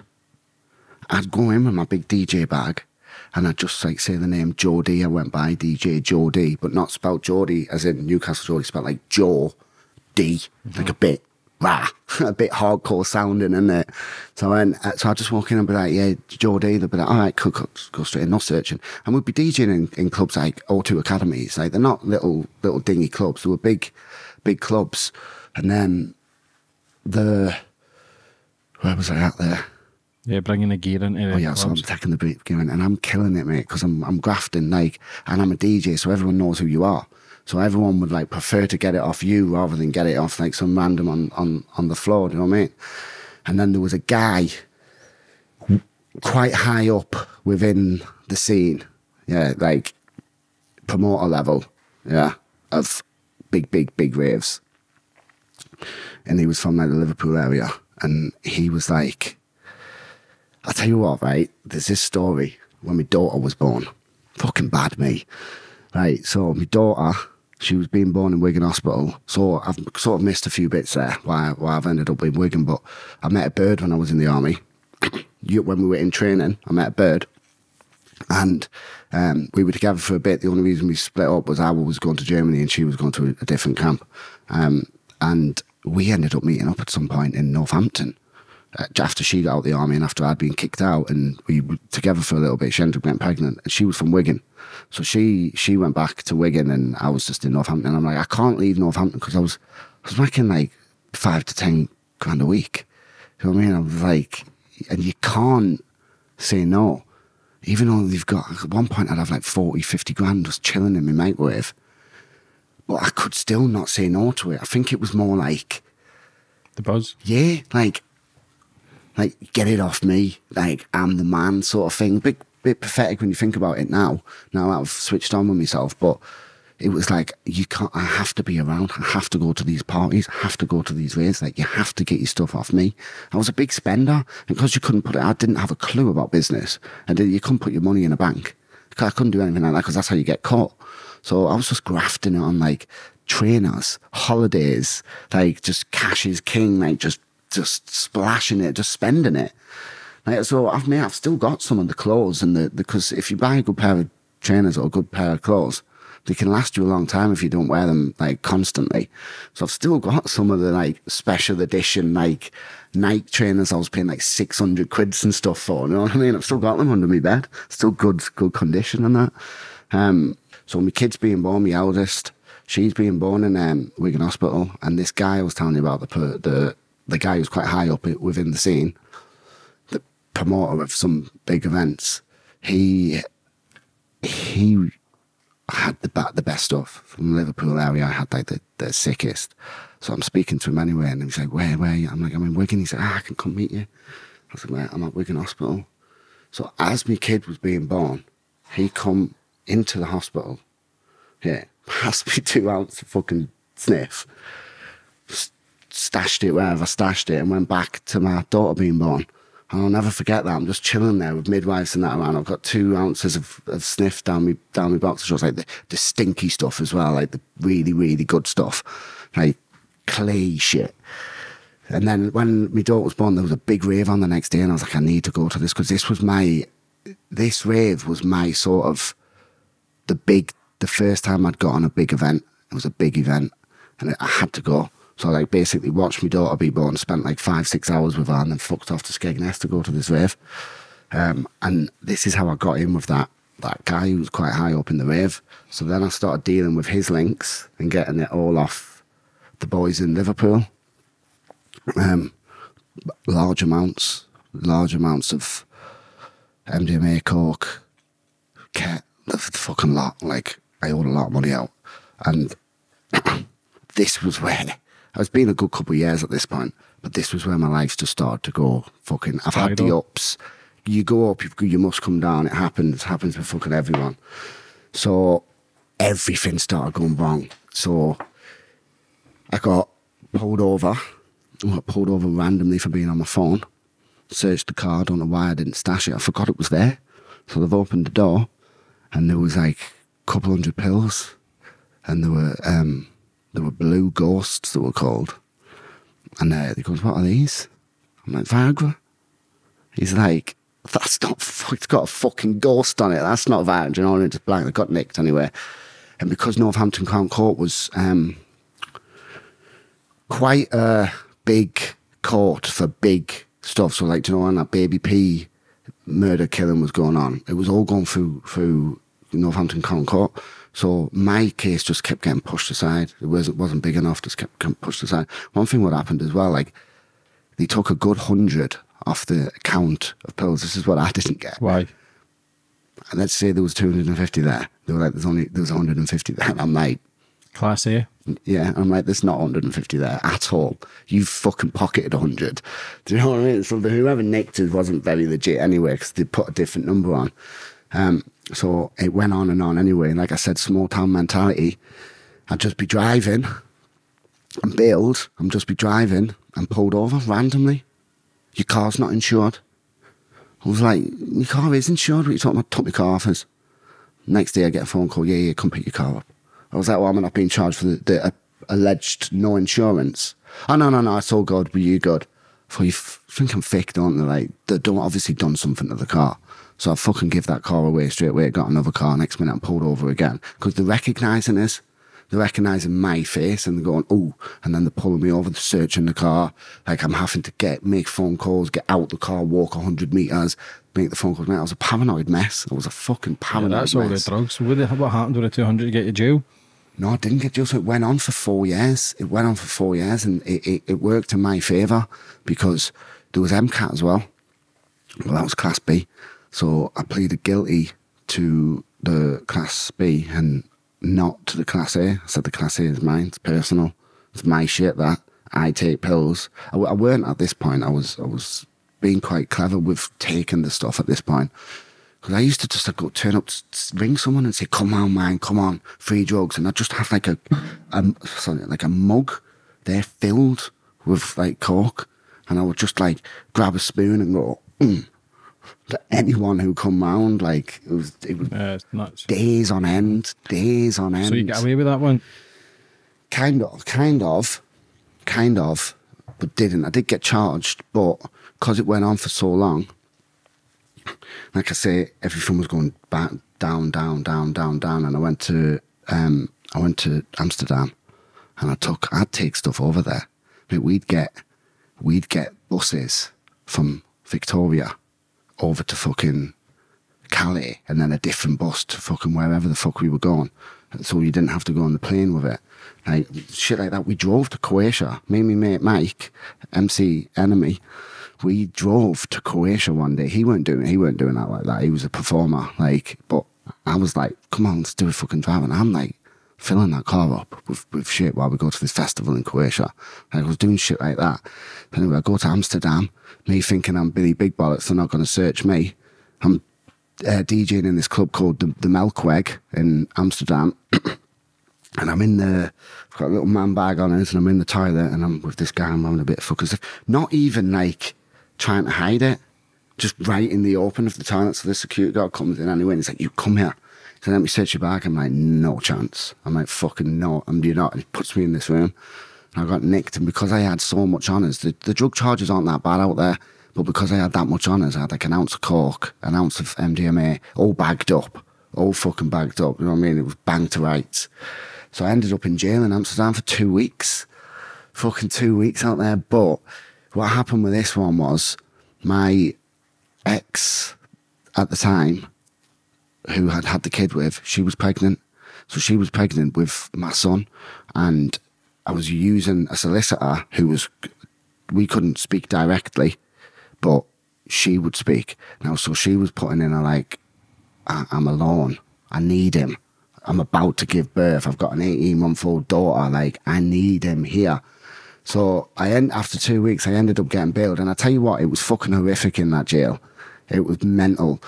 Like, you'd spend 23 hours a day locked up. They obviously they didn't really. There was one woman who was all right. It was like, give me a book or something like that. One guy come and he, he threw me a book in a different language. It was like, can you not give me it's an English book? So this woman comes back and she throws me Pete Burns' autobiography. Do you remember him? You spin me. round. So I was like, I was like, really, mate? I was like, honest. I was like, fuck it. And I read it. And I was like, wow, good autobiography. That's probably the first book I'd ever read in my life. So I was like, I was like, anyway, I read, read that book. She, uh, this solicitor, she ended up getting me um, bailed because they don't bail foreigners. That's why I was in there. I mean, they were feeding, they know what the feeding is. Obviously, mass produced bread and butter, already buttered, in a in a packet, like a an open packet, frozen. So in the morning, they'd just come and throw me this bread and butter, frozen. So they'd wake me up, and I'd have to wait for it. That's what we were eating. That's what they were giving us to eat, just frozen bread and butter. Wow. Yeah. What happens then when you get out? Like once you stopped all selling the drugs and that, how did you end up in the gay porn scene? So I weren't making any money. I was on the mm-hmm. dole. I was on the dole. And then this girl I know from the rave scene, she was a dominatrix and she was on adult work and the camming and all that sort of stuff. So she was working in Blackpool and she was telling me about um about uh this guy she knows who does gay porn but he's straight and I was like, oh well, I can't do that. I was like, you mad? I was like, I can't fucking do that. I was like, nah. And then, like I said, the, the best thing I ever done, the best thing I've ever done in my life was learning to not give a fuck what other people thought. Like I've always been that guy. Oh, what would this person think? What would that person? And I just thought when I was young, this was me starting fresh again, a new life all over again in Blackpool. I thought I couldn't give a fuck. I'm surrounded by box, good boxers. I'm surrounded by good people who are egging me on to train and like not people like telling me to come out and stuff like that. I just had no money. I just had no money, and I was in the gym, and I got. Funny enough, not long after that conversation with her, I got poached by a guy to do some modelling for a gay porn magazine. Not a gay magazine, that was it. And he's offered me 750 quid. So I'm like, oh, fucking yeah. All right. And then it went from like that to, will you do a wank on, sc- on screen? So I was like, yeah, I'll, I'll, uh, I'll do that. It went up to a grand or something. And then he was like, would you ever do gay? I was like, I, I can't do that. And he went, listen, hear me out, hear me out. He was like, it's not what you think. He's like, look, all I need you to do is just pretend. So it's basically just dry humping this guy, and you, you give me a grand for him, right? Just act. That's what he's like, just act. He went, and then when it come together and they pieced it together, what he done was, because like, let's say the camera's right there, he got somebody else's penetration with the hard dick, and he just edited it. So he edited someone else's dick to make it look like it was going in. Do you know what I mean? Like the editing skills. So I was like, this is fucking easy. I was like, I can definitely do this. But this guy was a bit of a dick. Um, and he would ring his, want you on Thursday, I'd take the day off work, and then he wouldn't respond for days on end. I'm like, what's happening on the day? And nothing. Three days later, oh, sorry, mate, I had a, had a bad time. I was like, I'm not, I'm not dealing with this guy anymore. So I, I knew since going on Twitter, I knew what the straight man was in gay in the gay world. It's like gold dust. For some reason, gay men love straight men. It's like a challenge, I think. So I knew my worth at this point. So I just Googled the top gay porn companies in the world. So come up one one to ten. Lucas Entertainment. So I looked on it, I was like, apply. Da, da, da. Within a within a week, a couple of days, I got a phone call. Um, can you can you do a Skype? I was like, yeah, cool. So I done the Skype with him. He's like, let me see your eyes. Are they your real eyes? I was like, yeah. did you ever see the? There was a Channel Five documentary done called the, the Sex Business. Did you watch it? No, I seen clips of it. Right. Well, he was that was that company then. so, anyway, he's like, "Can you take your pants off?" This is all on Skype. Get hard. So I was like, all right. He went, "No, it's all right. You've got a couple of minutes." I was like, oh, shouting me bird. I'm sat on the stairs. I'm like, "Suck me off." I was like, I need to get out suck me off. She said, "What? What?" And I was like, "Just do it." so I went back hard, and he was like, "Right, good, spin around, blah blah blah." Right, next minute, and the next day, I had a three-year contract in my inbox sign this. Uh, you'll come to Mexico on such and such date. It was like a week later. Spent two weeks in Mexico. So I'm like, are you going to get a grander scene? I was like, right, this is fucking perfect. I was like, this is fucking. Anyway, he tells me to log in. Tells me to log in and watch some of the stuff. Now, that's not for me, that. So anyway, I watched it and I was like, this is hardcore. Like, this was real shit. There was no faking involved in this one. This was hardcore. I was like, I don't think I can fucking do this. And I thought, like, fuck it anyway, I'm going to Mexico. I was like, I'll tell them there when I get there, I can't do it. Let's get the get the holiday first. And I ain't going to spend two weeks. I was skint. I was fucking skint. So I'm like, at least get the holiday. So when I get there, he didn't tell me this. But when I get there, they use a uh, jab to jab you in the dick called Trimix. Super, super strength, like erectile dysfunction medication. You can only really get it in America, but it fucking works. So the second that goes in, you just massage it, and within a minute, you're pointing to the moon. Kid's going nowhere. So that I was like, oh shit. I was like, I can crack on now. I can like just do the job what I'm supposed to do without having to be aroused. It didn't matter what what I looked at because it can be off putting when you're looking down because it's a man, and I no disrespect to anyone who does like that, but it's not my thing. So when I'm looking down, I'm like, oh, but then it's just acting. And within America, it's all about energy, uh, which is like mourning. Not notice the American porn stars are way more like cringy than than oh So it's all about this energy, and it was just like ah, like shit like that. so I was doing it anyway, and I was good at it. But because I was like the only straight man, the only British man, full of tattoos, like heterosexual looking, like it, I was like gold dust to this company. So I was proper diva in it. I want more money. I want more scenes. I want, I want this, that, and the other. And because one guy tried to get in my bed with us, like we were all in this in this villa. We're all like sharing kind of rooms and there's like four people in a room or something like that. This guy climbs in my bed, starts, and I'm all go mental, screaming. Two o'clock in the morning, the, the the guy who owns the company's like, "What's going on?" I'm not having this. I'm like, do you know what I mean? They must have just thought he must he must be a little bit gay or, or I'm blagging it or something like that. A lot of people pretend to be straight because they can get more money, but you can't pretend to be straight. If, you, if there's camp guys pretending to be straight, you just can't pull it off. Yeah. Do you know But what I mean? Obviously, going to be question marks to be doing gay porn or doing Always. kissing guys, sucking guys, whatever the fuck it is. Then you're going to thinking, is he? Do you know what I mean? Like, Mm. like how is that feeling then to be straight, got a missus, to then be doing gay porn? Is that just to block it out? Like, It was the money. It was the, the money? fucking money. I needed the money. It was a grand. It was a grand scene. And like when I went to Mexico for them two weeks, I had, I had ten scenes lined up. much you seen? A grand scene. What was it like your first scene? It was it was hard. It was hard, but I met this lad. He was quite cool, American dude. And we went out for a drink the night before, and he's like, "Look, all you need to do is just energy, just mourn. Don't look at the camera. Know where the camera." Like he was really telling me through it all. And when I'd done it, I bossed that first scene. Like the the, the guy was buzzing with us. The guy who owned it. He was like, "Right, cool."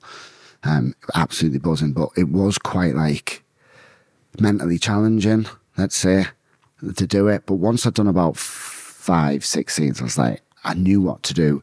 I knew, like, when you watch that Channel 5 thing, there's a thing, there's a point at one point where the they go cut and it's an it's a fucking big orgy. There's five lads, so they go cut, and these lads carry on. They're still like necking on with each other. There's and you just see me like kind of go, grab my phone, and I'm just sat there like you have to stay where you are because the camera. Let's just say the changing batteries on the camera. You still have to stay where you are because otherwise you've got to be in this. It would look weird, wouldn't it, coming back to it if you've moved spots. So I had to stay where I was, and then as soon as the go cameras rolling, actually I just throw my phone and it's like ah, back into it, like straight back into the character. So I could get into character good. I was good at the job, and when people used to go to those, I mean, you look like you're enjoying it. I was like, good, because I'm good at what I do. Mm-hmm. Like I'm good. This is how I ended up getting into the straight stuff because I knocked all that on the head. Because that stuff I'm telling you about, I'd done it for a couple of years. I'd done, made a lot of money, mate. I made a fucking lot of money from it because OnlyFans. I started before OnlyFans become a thing, so I was all over Twitter. I grew a following of up to like 90k. Do you know what I mean? Then OnlyFans come about. Like, I weren't doing much OnlyFans, just a little bit. So I couldn't be asked. I seen OnlyFans as not making money. I wanted the money, get paid, get the do the job, get the money, not make some content and then potentially get some money. Because I seen that making content as not working. It was too. I couldn't cross the barriers from porn to to OnlyFans. So I was just doing the porn, but I was making a lot of money, mate. I was making a fucking shit ton of money, which put me in a good position um, to get out of me. I was living in this shitty, piss stinking flat with nothing. I had nothing, mate. Like I could barely go and see my kids because I couldn't afford to get to see them in Wigan. So I was getting trains to them, couldn't afford it. Like I couldn't have them come to mine because the flat was a danger to them. It was like radiators hanging off. It was rank, mate. It was fucking rank. Then I started making some money. My bird, she knew all about it. As soon as I got into the porn, I was already with her. So I told her she was someone I'd met in the gym prior. I told her what I'm doing. She was like, yeah, cool. She's like, you're not gay. I know you're not gay. That's what you're going to go and do. That's what you're going to go and do. So It's mad that, innit? Because if I was with a bird and, and like, if she gets sleeps with a guy, you're going to go off your nut. But if it was with a bird, you'd be thinking, ah, fuck it. innit? It's weird the way the fucking mind is. But for you, like, then doing the boxing, being in the army, causing trouble, in and out of jail, selling drugs, to then being on that gay scene, like, how hard is that for you to try and go fuck it? Because obviously you must have got a lot of stick from family, friends, and people thinking that he's living a lie. mate. so the rave scene found out first. So I was quite well known in the rave scene. I was grafting. I was the big DJ. Because um, that DJ's all over the world, mate. Ibiza, Magaluf, Toronto. I got booked in Japan at one point. I didn't go, but I got booked in Japan, like a, some quite big gigs. So quite a few people knew who I was. And then somebody found out and they made the memes, the, do you know what I mean? It was just flying around. It was flying around the northeast uh, Makina scene I was telling you about. It was flying around the hardcore scene. Like these memes, these everyone taking the piss. Like, and it got to us. It did get to us bad. Um, I don't know why. Uh, this was before I'd learned to not give a fuck. It was around about this time I'd done it. I just thought, you know what? Just fucking embrace it. Just this is what I'm doing. Why am I asked about what some people who who were acquaintances a few years ago are now thinking about me? Made a new Facebook, fucked them off, fucked that Facebook off, blah blah blah. Had no on this Facebook. I wasn't seeing raves and stuff to make me go, ooh, I want to rave. I was just seeing like posts from boxers and other stuff that was making me go, I'm training hard and make me think this is what I need to do to be. Because I wanted at this point, whatever I've done, whatever I've put my hand to, I've ended up getting quite big at it. As soon as I started producing music and that Joey took me under his wing, showed me everything, I got quite good at it.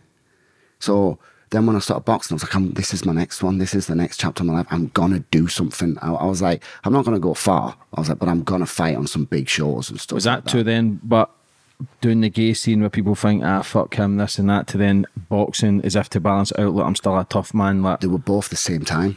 Literally, as I started boxing, I started doing the, the thingy. well, the I- boxing was before that? about, about a week, Yeah. Two weeks, something like that. Like very, very close together. And I told everyone in the gym, Brian Rose and that, I told them all, and they were just like, I, I just thought, But people shocked. Yes and no, because if you knew me as a person, if you knew me well enough, you you wouldn't be surprised. It's not as if there was rumours before it in the army, you fucking sucking off guys, No, or you no, doing this, that, like there's that. suspicion. It's just a case of you being in the army and out of jail to then fucking doing Well, there was a lot porn. of girls who I'd been with in like Northampton or whatever like that. And when things were going around Northampton, people, these girls were like, he's not fucking gay. Well, if he is, like he's, he's, He's done, it he's well. done well because Yeah, because it's not as if you're, you're fucking doing these scenes. It's not as if it's blatantly there. So why would you fucking hide that? I know. Well, it was. Uh, but it is a, it is a mad thing to think that a straight is. man doing that. It's mad. Obviously, you've got acting, maybe guys kiss, stuff like that. That's understandable. I had to do all but to that. then go full blown, what was the worst kind of stuff you had to do? the kissing, the kissing. So for the for the Lucas Entertainment, we had to kiss. Now I was like, look, I'm not putting a dick in my mouth. the first scene I done because I desperately needed the money. It's like I'd fucking sold my soul this, and this was the one because I was like, I don't mind. Like, look, I'm getting hard, but putting. I've got bad gag reflexes, mate. I'm telling you, bad. So they were like, just try that, but just try it. And I thought, I need the fucking money, so I, I can't be going home empty-handed. Yeah, I'd already figured out what I was spending the money on. Like I owed money out to people, and not only that, I had to sort my life out. Like I said, I was living in a fucking shithole. Like I had to sort, I had to get some money, get a car, sort my life out. Like, and I just kept thinking, I'm gonna be able to provide for my kids soon because I'm gonna get this money, and that's all what I was like really worried about was not just being a shit dad. Because I'm not saying my my dad wasn't a shit dad at all, but I didn't see him.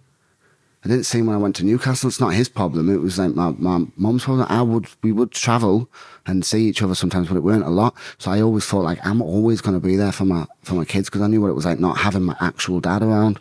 So I was like I'm I'm going to be there for them, and that's how I was thinking. It is the the the money the the this is going to change my life, effectively changing the kid's life. So he wanted me to suck a dick. So anyway, I've put it in my mouth and I've just went and I've just fucking threw up everywhere. Everywhere. I had to stop the set, clean up, everyone get changed, showered, everything. He was like, right, no more dick for Geordie. No more no more sucking dick for Geordie. Just just you do you don't need to do it. I was like, "Fuck- for that. That was the problem. But I had to kiss. So when you can feel like, you know, you've got a bit of stubble and that, when you can feel it on the mouth, that was on. But I've got to stay in character. I've got to be enjoying it because I'm acting.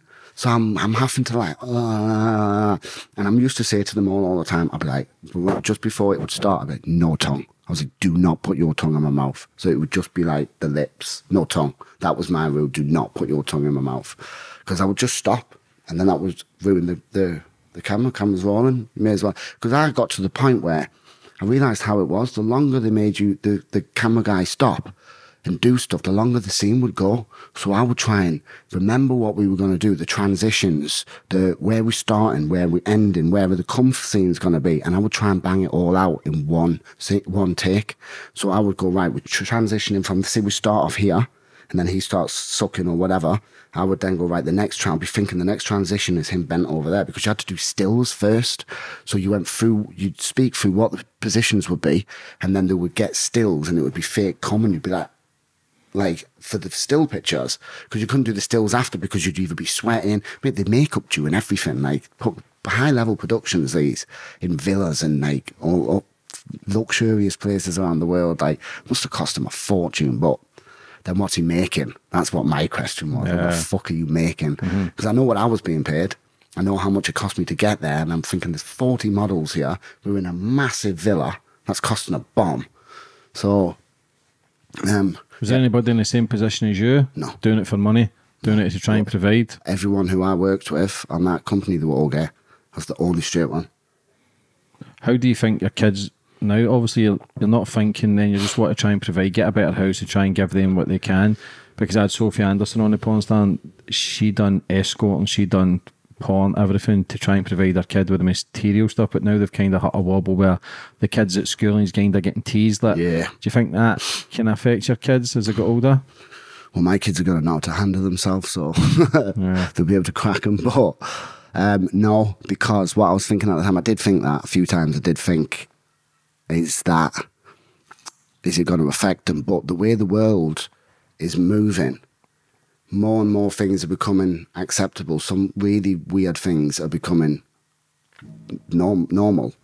So I thought by the time they're old enough to even understand what porn is, either I'm going to be way past that or the world's going to be ch- totally changed. I don't want to be like politically incorrect here, but some people don't know whether the the male, whether the female, Yeah, like that's the, true, the- yeah. they, they're going through some very mental ba- barriers. But I thought as things are getting more, this was unheard of 10, 15 years ago. Even even when I was a kid, being gay was quite. Yeah, uh, nobody speaks out. I believe that's why a lot of people, a lot of men struggle with their mental health. I believe a lot of men are I know. gay or bisexual where they're just too embarrassed or ashamed. Even to this day, well, you've, we've only got one footballer that's ever come out as gay, and I think that was only a few weeks ago. Like, it's sad today. I don't, I don't give a fuck who you are. I've got many gay friends and they're the best cunts in the, on the mm. world. Yes, they're a bit fucking crazy and fruity when they're drunk, but I'm not asked. Just Just just know your boundaries. yeah, know what I mean? yeah, like, yeah, give a two fucks. yeah. Like, just as long as you're not hurting anybody, like, be who you want to be in this. As long as you're not hurting, as long as you're not forcing your agenda onto people, because I think we're living in a, a place where if people don't go with their own agenda, then they start turning on you. Everybody sees the world differently. Like, I believe there's male, female, two genders. That's it. But if you want to change or do that, then Mm, that's do that. you. Yeah, that's do you. That. So who fucking cares? yeah, but yeah, don't yeah. force me and say, well, but we're this and that, or I want to be a panda or an elephant or a fucking I want to identify as a moon. Fucking do it, but I don't. Don't push it onto Yeah, me. It's like veganism, isn't Yeah, it? When vegans push veganism on you. just everything is this and that. We're all, we're all see the world just a little differently. Like, Yeah. how did you? So were you shagging guys in that then? Yeah, yeah. Oh, you mean But uh, you weren't getting shagged. out of no? I was the top. I was. Yeah, I'm not. I'm not the. Yeah, I'm, I'm the. I'm, I'm the stabber. Did man. that make you feel more But it was like more manly though? the, uh, Like you never really lost your so femininity. in the in the straight world. That's just fucking weird to everyone, right? But in the gay world, you're like an alpha, like an alpha top. Like it's especially when you look like I don't want to say I look like I, I do, but you know what I mean? Like full of tattoos, quite muscular. Like it's they would just call you like the one term I didn't like was daddy. Oh, daddy! Be like, "Don't," because I am a daddy. Like it's not not, and then they just start calling you alpha sort of thing. Like people, people with mental money, mate. Like this one guy in the New York, he works at the New York Stock Exchange. He's in his eighties. Yeah, he's a consultant in the stock exchange. Like he's a powerful, powerful man. Behind closed doors, he's a submissive, and he like calls me master. Sends me like he used to just send me like five grand and that. I'd be like, a cunt fuck. I used to call him. That's his name, cunt fuck.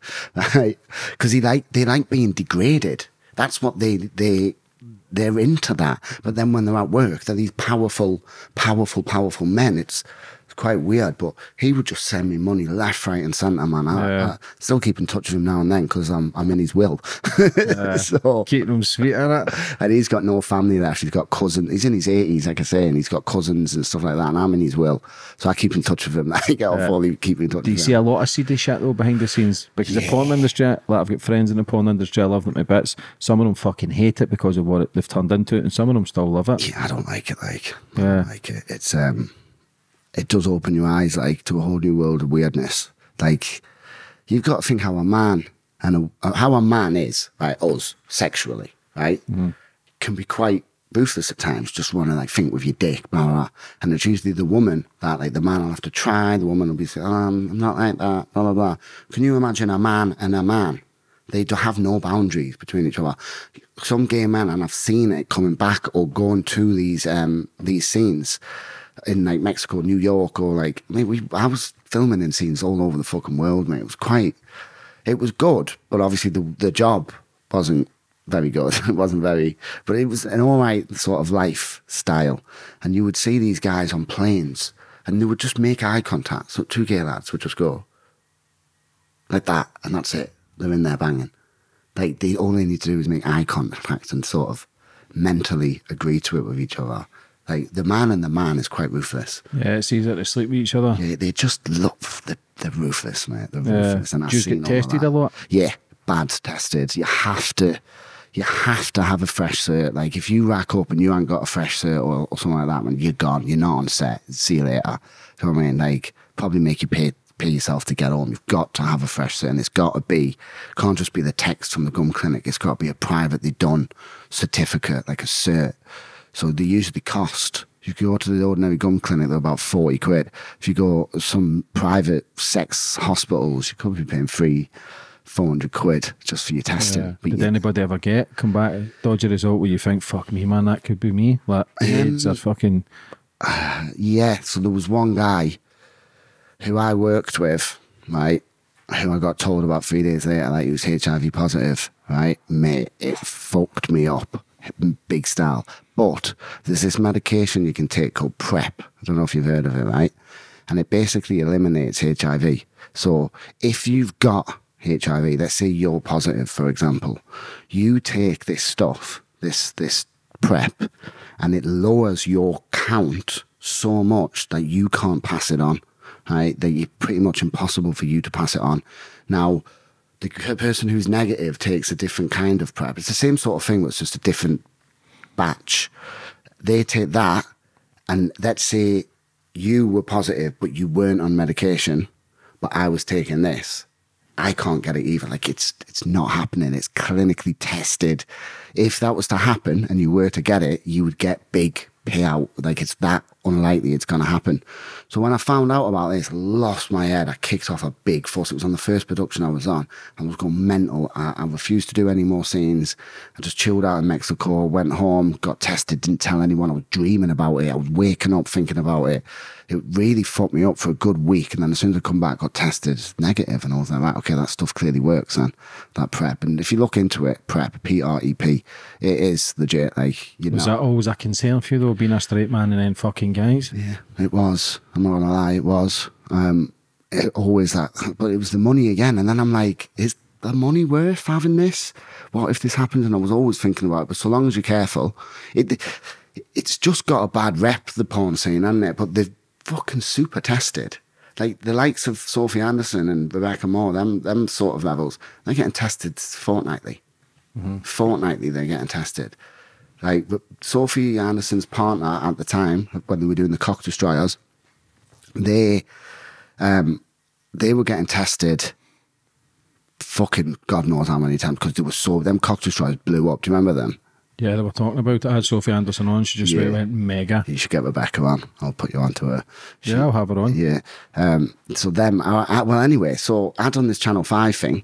So when, when you were saying about before, like, was it difficult? Like, so when I was in Blackpool, this was my life now. So the only person I cared about giving a fuck about was anybody who was in my life. All them in the rave scene, fuck them. You're mm-hmm. you're in the past now. I'm not asked about you. It's what you think about me. I'm doing this now. So I felt I'm gonna have to tell everybody in the gym. I'm gonna have to tell everyone in Blackpool because it's the internet. And Blackpool's a gay town it's quite a big gay town, Blackpool. So there's a lot of there's a lot of gay people around. You see the flags all over the place. So I thought I'm gonna have to say something. So I, I started telling everyone, and I was on. Funny enough, back to that first charge where I got caught with the pills. Um, that dragged on for four years. By the time it come to actually getting seen to, I had changed my life around. I was living in Blackpool. I was training. Um, I was working out of Brian Rose's gym. Um, I was training. The, so, which is mad. I went from one year of participating in um, ultra white collar boxing to a year later teaching them because I started working in. I started working, but I worked in one gym over the road. I fucked that off. It was a big change gym, the, the gym group. I fucked them off. I went over to Brian's, took all my clients with us to Brian's, come in there, and because I was getting padded by like Bobby Rimmer, big pro coach, like I was, I can do this. And then it'll be like someone will come in and I'll be like, come on, let's do a bit of pad. And I just got better and better and better. And then Brian said to us, because Bobby's not, Bobby's not, uh, he's a pro coach. It's not up to him to teach you, turn that jab over, keep that like, it's not, he's past that. He's a pro trainer. He's like training people who already know that. So Brian physically pulled me to a side and he was like, you've got something new. He was like, I can see it in you. He was like, because I was progressing quite quick. He was like, you've got, you've got what it takes. He's like, I want, he's like, I want you, even though this was his gym. He's like, I want you to go to Sharp Style, which was an amateur gym. He says, I want to speak, I want you to speak to a guy called Tom Scott, right, who he knew well. He's a fucking blinding coach. Like, he's like, go and, go and see him. Now, I was fighting that Friday. I hadn't spoken to Tom yet. I was fighting that Friday and I'm, I seen him there. He was, his bird was boxing and he was warming her up. And I says, he went, no, I'm warming you up. I said, nah, I ain't, got anyone yet with us. I went, come on. So he started warming us up. Within seconds, he went, you need to twist that over, mate. You- You're not fully extending. You need, and he's like, I was like, I need to get in with you. And he went, come down next week. He said, we'll, we'll, we'll do something with you. And me and him like went like that. Then we like just gelled me and him. So I, I had the money, mate. I was I was doing the porn and I had the, I had quite a good I had good money. So I was seeing these like top coaches every day, Monday to Friday, every single day. Just paying 100, 150 a week. I Didn't no one asked. I was paying it just to get the better. And I was training with Tom for a good year and a half, and I was fighting under him. We done fucking well. I think I went undefeated under him, to be fair. And then um, I did lose a fight against uh, an ex pro called Martin King. What was that feeling like? Um, I weren't asked. I weren't asked because I didn't want to lose, obviously, but I got the call three weeks. Will you fight this? And they all knew I didn't want. I didn't want journeyman. I always used to say, "Do not give me a journeyman because I don't want to go in there knowing I'm supposed to win this fight. I get no pride out of that. I, I have to. I want to. I like not like being the underdog and Underdog. proving everyone wrong. Do you feel as if that's been your whole life though? Yeah, yeah. And I, do you know what? I've just believed in myself when I was doing the music. I believed in myself. I mm. still do the music now. I'm never going to go and DJ again because the lifestyle was horrific. Like I said, I was getting on it all the time, but I've still got my studio at home. I still make music because that's what I'm passionate about. I'm, I'm super love music. It's my thing, like even more than boxing. But boxing keeps me on the straight, Straight narrow. How were you treated though? Like saying you're a straight man to being in gay porn to then like how did you feel as if you constantly had to justify yourself? Yeah, not re right. How did you deal with that? some people, what I'd done was, like I said before, that that I got on to teach. I'm fucking babbling now, aren't I? So when I was teaching that white collar, the I ended up getting a letter or recognition or whatever of Brian and ultra white collar boxing to say I took part in teaching ultra white collar boxing and I had helped raise like fifty grand for cancer research. This was all going in my favour for, for when I went to court. I turned my life around. I've moved out of the area. I've, I've, I'm hel- helping charities. I'm, I'm, do you know what I mean? So it, I ended up getting community service.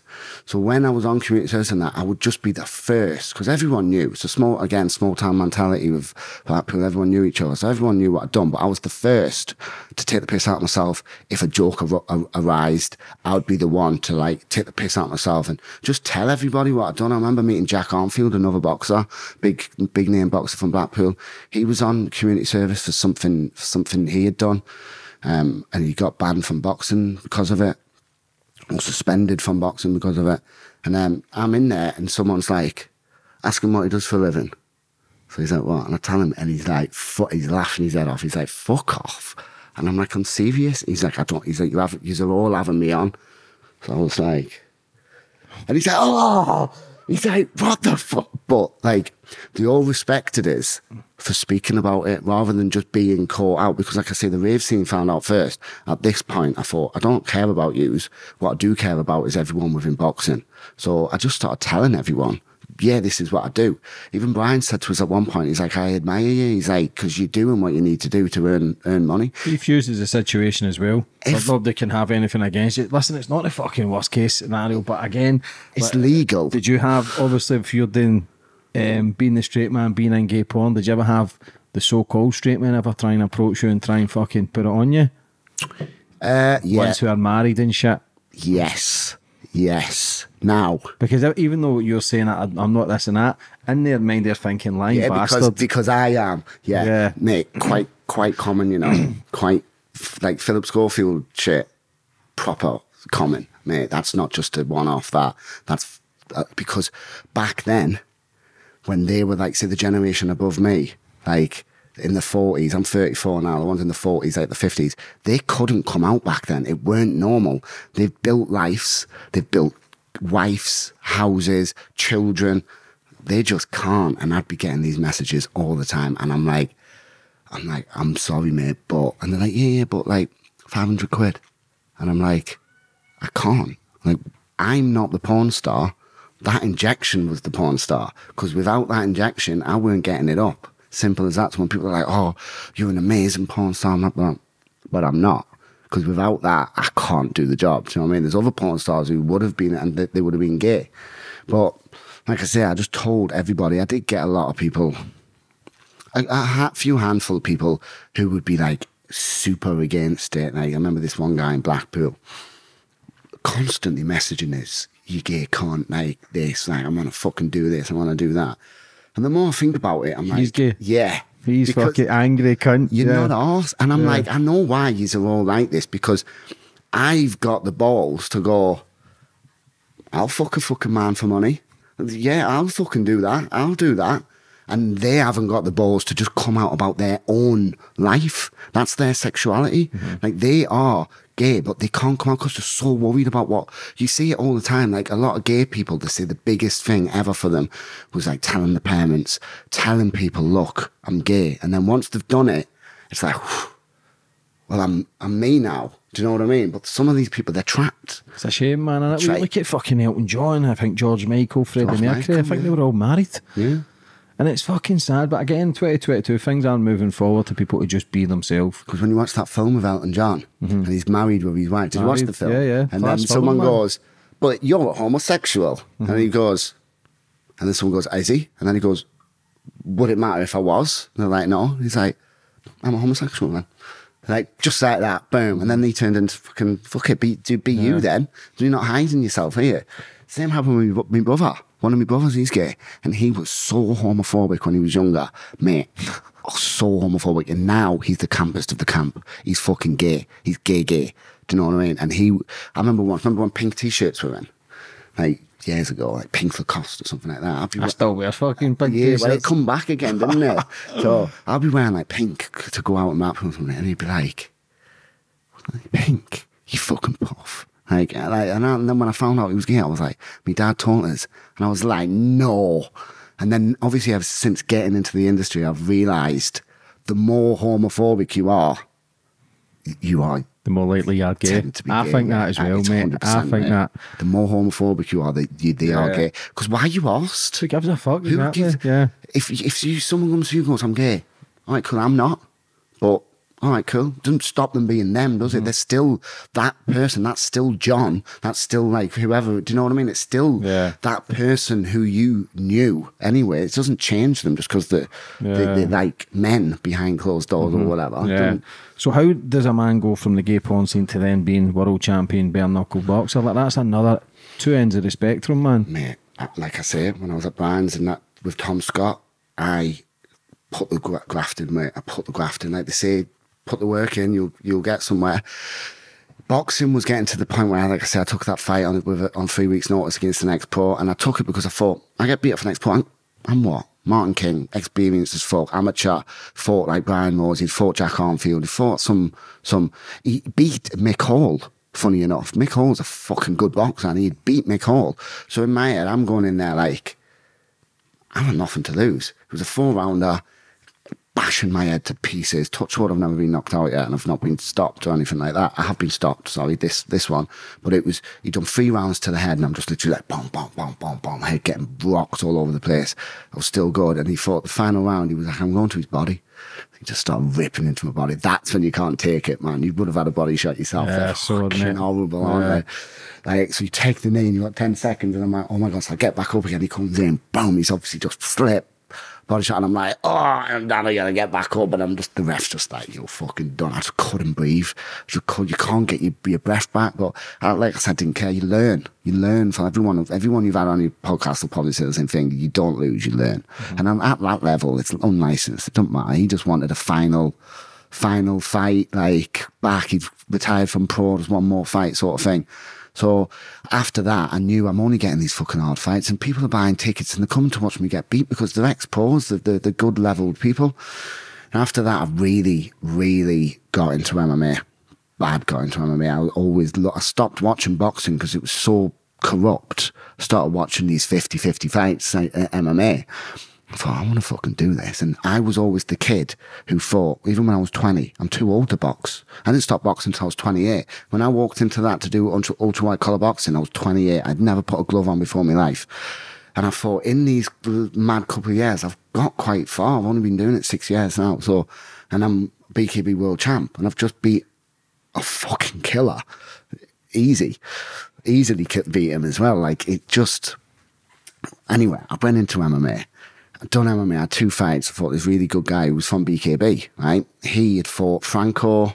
He had- Legend. yeah, legend. he had fought some big names in, his name was Adam Gorgon.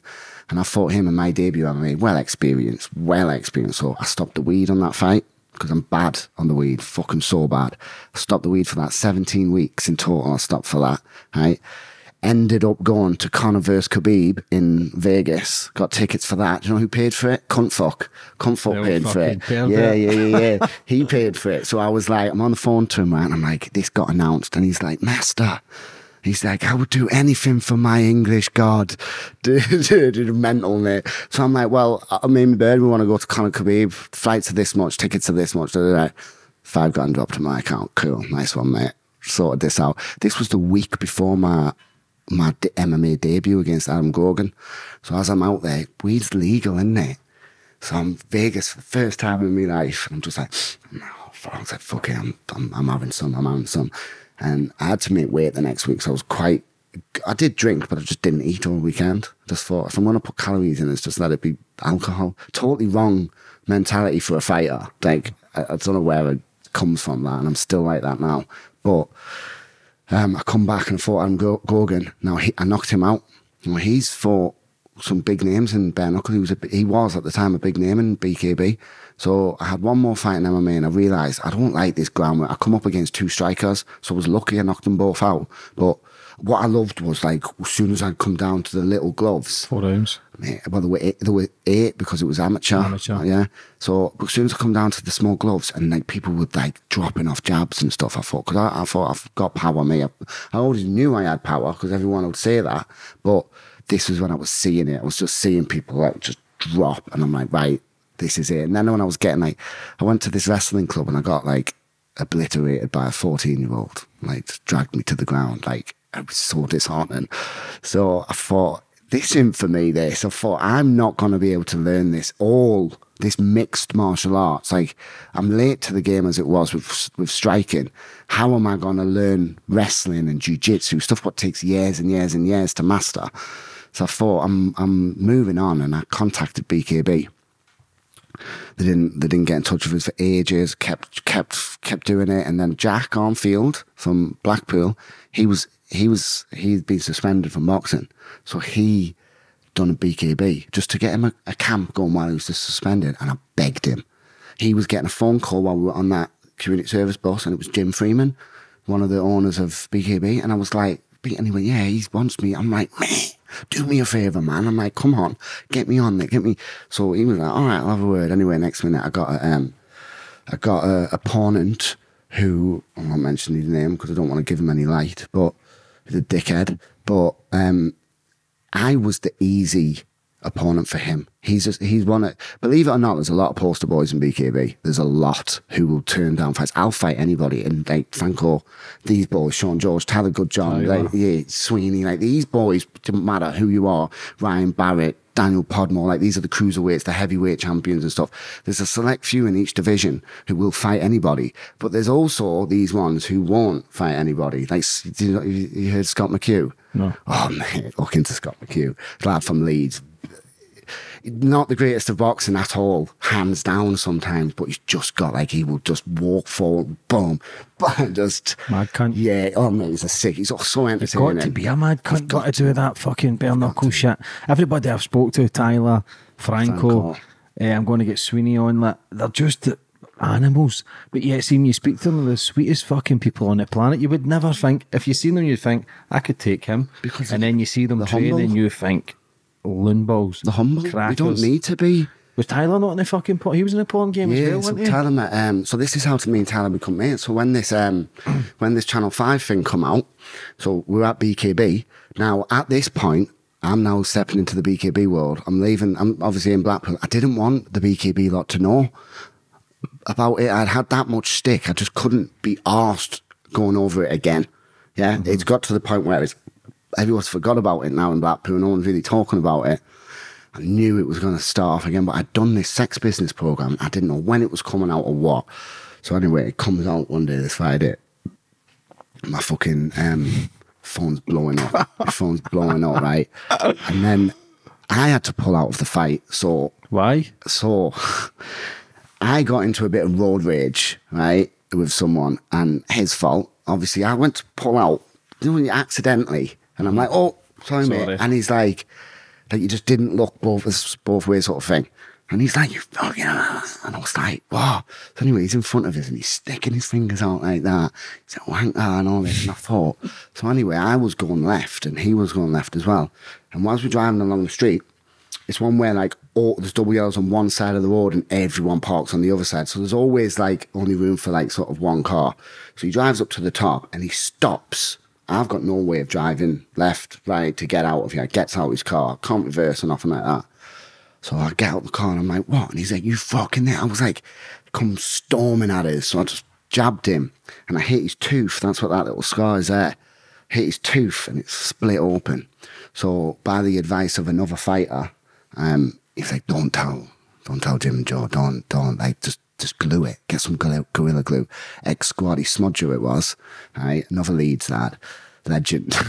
and he's like, just glue it, glue it. I was like, right, cool, glued it. So I fucking glued it together anyway. I had this big fucking thing all that. I thought, yeah, we're cool, cool. I told the promoters that I'd hit a bag wrong and it had gashed open. No one fucking believed it, but I didn't want to tell them I was having fights in the street.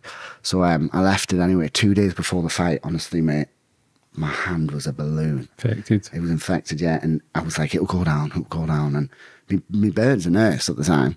So she's like, Dan, you need to get that look. And I'm like, I'm fucking good, man. I'm not pulling out of this fight. Like, not worse. So especially this opportunity, it was the London O2. Like, I'm nobody. Jack Arnfield had sorted this out for me. Like, I can't pull out of this. It started coming up my up my arm. Got to about here. Like, I went to the hospital and they were like, if you had left that another day, you could have been losing your arm. So I was like, so I had to pull out. Like it was fucking massive. I sent pictures to the promoter. One hand's out here and the other one's just normal. So I had to pull out. But then this the the the fight was on the Saturday. That Friday beforehand, which I think was the 10th of September 2019, that fucking program come out. So then the next day, oh, everybody was talking about it. I was at this this BKB. No one was saying anything physically, but I knew they were talking about it. So I had everybody. This this person who I was supposed to be fighting is stupidly homophobic, right? Still to this day, right? Because me and him have got beef, yeah. Because he started putting statuses about this, right? About all of that. And then a few people were getting involved with the banter, and I get it. I do get it. It's funny and it's weird. I do get it now, but at the time I was fucking fuming. So I started fucking screaming at the promoter, blah, blah, blah. Promoter's just like, this, he's a fucking dickhead. Fuck me off. Anyway, every time I was like trying to get another fight, I was trying to remake this fight with this guy. And we were trying to get it done. I don't know why it didn't get done, but then anyway, after it didn't get done, he fought somebody else, a journeyman. And then um, I kept texting BKB like, we can't, and they weren't having none of it. I thought the fucking me off because of this. I thought the fucking me off because of like this all this gay porn thing. It weren't. It was just this. I don't know. I was just nobody. So I went to another company, um, a, a sort of low level company, bare knuckle, and um, up north. And I, I had one fight with them, and then COVID kicked. So all through COVID and stuff like that, I was laughed at between the bare knuckle community because I was the gay boy. Yeah. I was like that. That's what it was like, and there was there was no way of me proving what I can do. I'd had this one fight who against a bit of a journeyman as well. You can only fight who's put in front of you, can't you? And it was my debut, so I took the fight, fought, beat him in the first round, and then after that, I was like, I was just trying to like, I was just being stopped from being in the bare knuckle community, put that way. Everybody laughing about us. Everybody knew this was the thing. Like, no publicity is bad publicity. So when people are making these memes, these big named fighters are making memes and they're talking about us, you're still talking about us. So when I was at this other company, everyone still knew who Dan McGraffin was because how could you not know who Dan McGraffin was? Because he's the one who fucks guys. There's you know in it. So how would you not know that's that fucking gay porn star? Like that was on the TV about it, like all this. So like I say, no publicity is bad publicity. So even though people were all in these banter groups taking the piss out of us, you're still talking about us. Just everyone still knows who I am. So then I fought somebody else, right? A guy from Leeds, and I knocked him out in 10 seconds. But if he had won that fight, they were calling me the bare knuckle bummer. Right? That's quite funny to be fair. So I see online, I see online the chatting, right? And, and this Pickles goes, one of the promoters had said something, and this Pickles goes, Oh, yeah, well, I'm going to destroy the bare knuckle bomber. And I'm telling you, it was just lighting fucking fire underneath us, like, do you know, you're not. So, anyway, I knocked him out in 10 seconds. One of the first right hands I threw straight through the middle, just smashed his eye open to pieces. Then I think BKB were like, all right, hang on, but still not saying anything. And then I fought somebody else for a European title. This guy, who I was telling you about before, who I don't want to mention his name, he then signed for BFBA.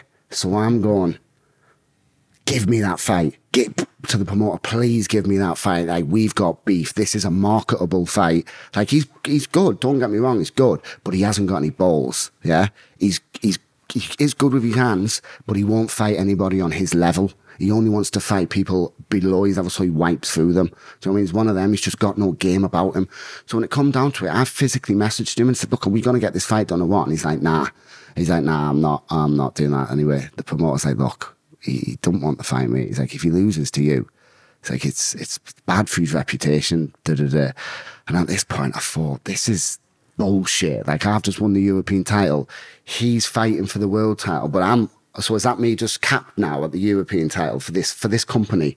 So is this me capped now? And I thought I was playing game anyway because I wanted to fight him so much. Like I seriously dislike the guy. Yeah. And he's still now to this day writing gay statuses about us, this, that. I'm not fighting him because he's fucking like, mentioning things like, what if I got HIV? I mean, I was physically getting these, all these tests I was getting done. I was passing them to the promoter, just going, just in case, just in case anyone, because there's a lot of blood involved, isn't there? And I knew it would be an excuse for him. So I was like, just in case. So like, Yeah. he was going back and going, not mate, he's showing us certificates. Like he's negative on everything. He's like, ah, it's, it's, I can't, mate. Like, and he physically messaged us one day. I don't know who of a fighter would do this. He said, Dan, stop mentioning my name. He said, please. He's like, fair play. You've won, blah, blah, blah. He went, but I'm never going to fight you. He went, the thing is, he went, what if I lost? He went, if I lost a fight to you, I'd never be able to live it down. And I thought, Who's saying that? What sort of fighter physically says to another fighter, "What if I lost"? I've what down now because you used to shag guys. Yeah, Wait, like, oh no, but I would be fucking scared of a man who used to shag guys in our street. I think there was a film that says shagging girls is for poofs. And that was a mad because he was Yeah, that yeah, fucking yeah, nuts. Remember, He's like fucking shagging girls is for poofs. Like, I'm back thinking in the day, that's mad. I'm thinking this mad bastard's just fucking doing what he wants. I'd be fucking wary. But again, to be even if somebody was gay in that scene, you don't go, oh, if I lost to you, that's not a bad No, thing. Just doesn't mean fuck all. I've said this over and over. Like he needs to stop concentrating what I'm doing out of the ring, concentrate what I'm doing in the ring, because. At the end of the day, I'm a fighter. Every fighter has a fucking hustle. They have to, because you don't make that much money from fighting. Like eating, sponsors come on board, yeah, money comes and goes, whatever, but you can't not have a side hustle. Whether you have a full time job, you can have the full time job, but then you haven't got the time to train freely. Mm-hmm. Do you know what I mean? And there's a lot of people, whether it be illegal activities like drugs, there's a lot of it. You become a big draw though because of your background and the shit that you've caused. yeah, I think so. Yeah, it got to a point where like, like I've got a big, eh, not a massive following, but a, a bigger following than um, a lot of the, the, some the of the- bare knuckle yeah. fighters, they don't get a, a, a big support. It's still a very low organisation. It's no nowhere near But that's UFC or boxing, but potentially in the next five years, ten years, I don't. Everybody loves combat sports. I know, I don't see why it can't be as big. What were you more nervous at? Taking drugs through the airport, bare knuckle, first bare knuckle fight, or shagging a guy? probably shagging a guy for the first time. yeah, it was fucking super. Like I said, it was mentally challenging that bad. Super, super bad. There was times in in an airport once I was going, and you know what? He fucking tapped me down, right? Because I went through the machine. He went, "What's that?" And I was I was pissed because I was used to sitting in them lounges, mate. And I pulled out a packet of fags, and in there was like about four or five grams of MDMA. And he was chatting to his his co-worker like this, and he goes, and he pulls it out, and I swear to God, I must have just started sweating. I was red, and he literally goes, da da da da da. Carries on talking, and I walked through, and even like my mates were like, like that was that was a close call. That there's been somebody looking out for me, you know, quite a lot of times in my life. Like when I said I crashed that car, I should have died. Like someone's looking out for me up there. Yeah, people are more protected than others in the probably spiritual world. It might seem mad for people, but they are. So, what was your world title like? Like, short, like when you go through everything in life, from being in the army, being a bit of a loose cannon, kind of your stepdad's probably seen the potential, and if you screwed the head, like you screwed ahead, you done well in the DJing thing, you done well in the gay porn scene, like, and now you're flying. So whatever you put your mind to, you do become Yeah. cream of the crop. But what was it like getting your world title shot? So, like I say, they wouldn't give me this fight against the guy who ducks everyone. So, um, I was like, whatever. And because I had had drama with BKB promoters in the past, I didn't know how this was going to go. I still had his number. I was fucking buzz him up. I'm like, and I'm thinking this is going to go one way or the other. He's going to hear me out or he's going to say fuck off. If he said fuck off, I'm done in bare knuckle. Uh, so that other company, BFBA, that's fucking dog shit. Dog shit company. Nothing com- in comparison to, to uh, BKB. Like, there's some good fighters on there who are coming from BKB, but it's just because they're, they're getting dropped by BKB or like that guy I'm talking about. He just was turning everyone down. He was a big draw for them, but he was just turning down every time you'd get a big name, he'd turn them down. Oh no, I need an easy fight. So they were just like, they're not about that BKB. Like, fuck, fuck off. So they got rid of him. He went to this, still couldn't get that fight. Right, ringing Jim. Rang Jim, spoke to him for a while. He's like, oh, we'll have you. He's like, water under the bridge, whatever you said in the past, because I went mad. I was quite vocal online, me, fucking dickheads, da da da, like proper going for it like a like a dickhead. And then uh, he goes, water under the bridge, blah blah blah. So I get a phone call one day, and he's like, look, I don't want you to think we're doing this because we want you to get beat up. He went, I think this is a good fight. He went, but what what do you think about Daniel Lerwell? Now I've been a fan of his for years. I've watched Bare Knuckle for a long time. So I um I watched it and uh, I mean I took it instantly, obviously, and I'm like jumping up and down in my front garden and my bird's like, what? And I just like showed her, said Jim Freeman. She's like, right, like that. And I'm like, I'm like walking and I'm going like that. So she's getting what it was, and I'm chatting to him for ages. And he's going, I don't want you to think we're doing this because he's the KO king. If you type in Daniel Lerwell on YouTube, he is a beast, mate.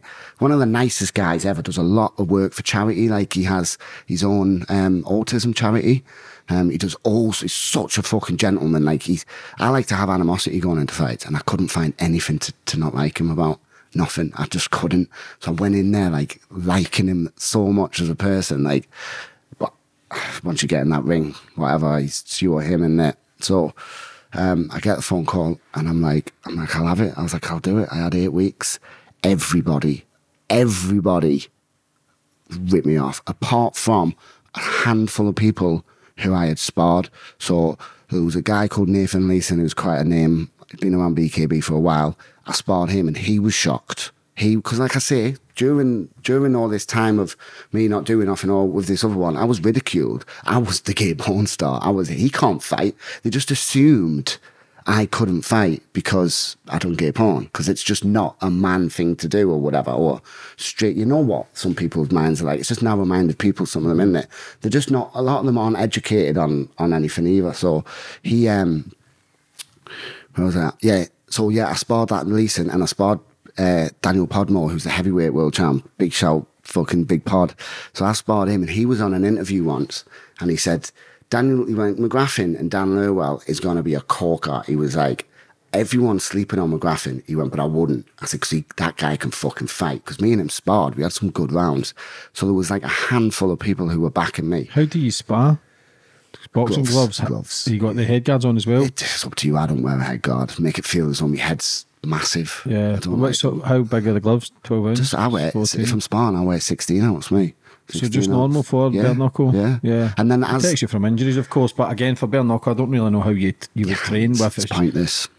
I know a lot of people do hit the bag bare knuckle, but it breaks your skin. And then once you get that mark on your knuckle, do you know what I mean? Doesn't repair. It does repair, but it takes a long time. Yeah. So you've got to think every time you make a fist, it then rips the scab open. Like it takes. It's not like it hurts. It's just irritating because Mm-hmm. you've got this cut, and then when you put your your hand back in your gloves or your wraps on, and then your hands are sweaty, and then you can. Do you know what I mean? It's just not good. So a lot of people do do it. I don't do it. Like, and I like to wear the 16s because they're heavy. They're heavy gloves. So I feel like when I'm throwing my shots with the gloves off, I'm used to holding 16 ounce gloves up. Your hands are so now my hands are 16 ounce lighter than what they usually are. So that's why I like doing it. But we sparred, we had a good fucking spar. And he was like saying, look, he was one of the only people, hand, like I say, a handful of people who had me winning that fight. Um, and then I went into the fight. Like I say, the whole some people were messaging the BKB page saying, "Why the hell are you are you doing this fight to make McGrath get beat up? You must be because this is such a mismatch." And I was taking that by the balls, mate. I was like, "You're not. Um, this is what lit that fire. You, you, you think I'm not going to be capable of this? All right, sound. Watch." So I went in there, and I don't know if you've seen the fight, but I fucked him up with me jab in the first round. No one's done that to Lerwell. Nobody.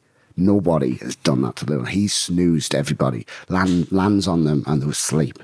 Do you know what I mean? We, I hit him with a jab. He come stepped in, stepped in the range, tapped perfectly timed jab, dropped him within eight seconds, jumped back up. I seen this little cut under his eye. Thought, right, okay, I'm gonna work that cut. So I kept working the cut. He come on the inside. He likes to get on the inside a bit.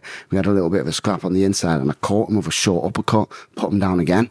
At this point, I thought, I'm winning on the outside and I'm winning on the inside. I thought, you're not. And I mm-hmm. looked over to him because he kept posting online.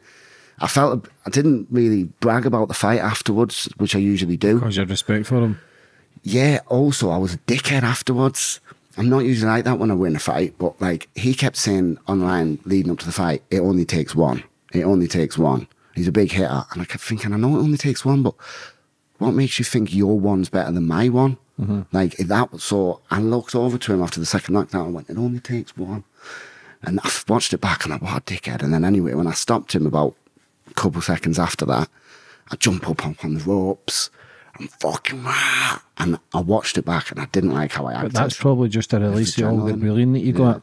The fucking it was a it was a fuck you to the whole arena. the people was against you. That's what it was. Just for thinking that you've done a bit of fucking gay porn, all of a sudden you can't fight, you're weak, you're soft, you can't do this. So this is just probably a release of told you so. All the years of bullying, all the years of thinking you're not good enough, going off the rails. Because let's face it, anybody that drinks or takes gear, and I'll say this, a lot of people don't agree, but you're always escaping the person who you don't want to face. Because we're all scared. And every fighter I've interviewed, what I've realised now is they all fight because they're scared. Hmm. A lot of them love it, but it's because they were fearful at one point in their life Yeah. where they were Yeah. bullied or Most fighters be bullied, aren't they? Yeah, Aren't they? it's mad connection And I it. think that's why I think that's why a lot of fighters are humble. I don't- you don't need to prove that you're a hard cunt. You don't have to do that. Like, and that's why you get people on the streets who like, wow, they can't fucking fight for shit. Right heads and just that. rah rah rah. It's intimidation to make people think. It's just a print intimidation to try and keep them away from not even fighting. How do you feel about talking about your life today? Good, good. I've want, like I said, I've manifested this. I've, I've Mm-hmm. knew I was going to tell this story for a while. Like even when see all them who ridicule us and that, nobody talks about the straight porn though. No, but now I'm doing straight porn. Yeah. Nobody's shouting out about that. I'll tell you what, I have got a lot of, a lot of. Oh, I would do that. How do you get into that? Hmm. Go and fucking shag a geezer for five years and work your way up. That's what I say. I say I started at fucking gay porn and I worked my way up. The reason why Rebecca More contacted me mm-hmm. because she's a star. She she's a She's star a porn star, yeah. like a, a gigantic star worldwide. Her and Sophie Anderson were massive. So she contacted us. She seen me on Channel 5 and she's like, if he can do, because do you know Danny D? Yeah. Brazos, he started in gay porn. Did you know that? He's got a fucking 12 inch dick or Yeah, something. yeah, yeah, 10 inch, yeah, I massive mean, chill, dick. know what I mean? Well, Fucking wee balls. He's, he started in gay porn under the name Matthews. Yeah. So it was a lot harder for him because the stigma behind gay porn back then, when he started, was a lot harder. But then he drifted into porn, uh, gay, straight porn, sorry, and now he's a straight porn, the man. He's the guy in straight Yeah. porn. So she seen that and she's like, if he's willing to do gay he's willing to do anything. So she's like, contacts us through Twitter. She's like, can I do have you for this scene? Blah blah blah. It had been a long time since the Cock Destroyers had done anything because it's been um, COVID, so they weren't doing anything. This was their first scene back. In this time, Sophie's got a boyfriend. So, anyway, it was a Scooby Doo scene. I sent you the picture where I'm Fred and they're Daphne and Velma. So I'd done this scene, and do you know what? I didn't want to tell anybody that I was doing straight porn because I felt like it was me I covered up. justifying the gay porn and now having it. I used to when I was in the in the rave scene, I had a bad ego about it. When I was grafting drugs, I had a fucking bad ego, and I'm not ashamed to say it. Like I didn't. I thought I was some fucking boy when I weren't. So now I felt if I go around to people going, I've done straight porn, I've done straight porn. It's my ego coming out of it again, trying to justify the gay porn. Like now, do you know what I mean? So I just didn't tell anybody about it. Um, me, me bird, for example, like when we first were doing the gay porn, she was saying she wouldn't be happy if it was straight porn, blah, blah, blah, because she's on that documentary, the Channel 5 one, same girl. And she's going, oh, if it was straight porn. But then as we got into the scene more, like Tyler got with Alessa, she was a big porn star. Tyler got himself into porn again. Like I said, Tyler, he he was one of the only BKB boys when the gay porn thing documentary come up, he was the only one who was supportive.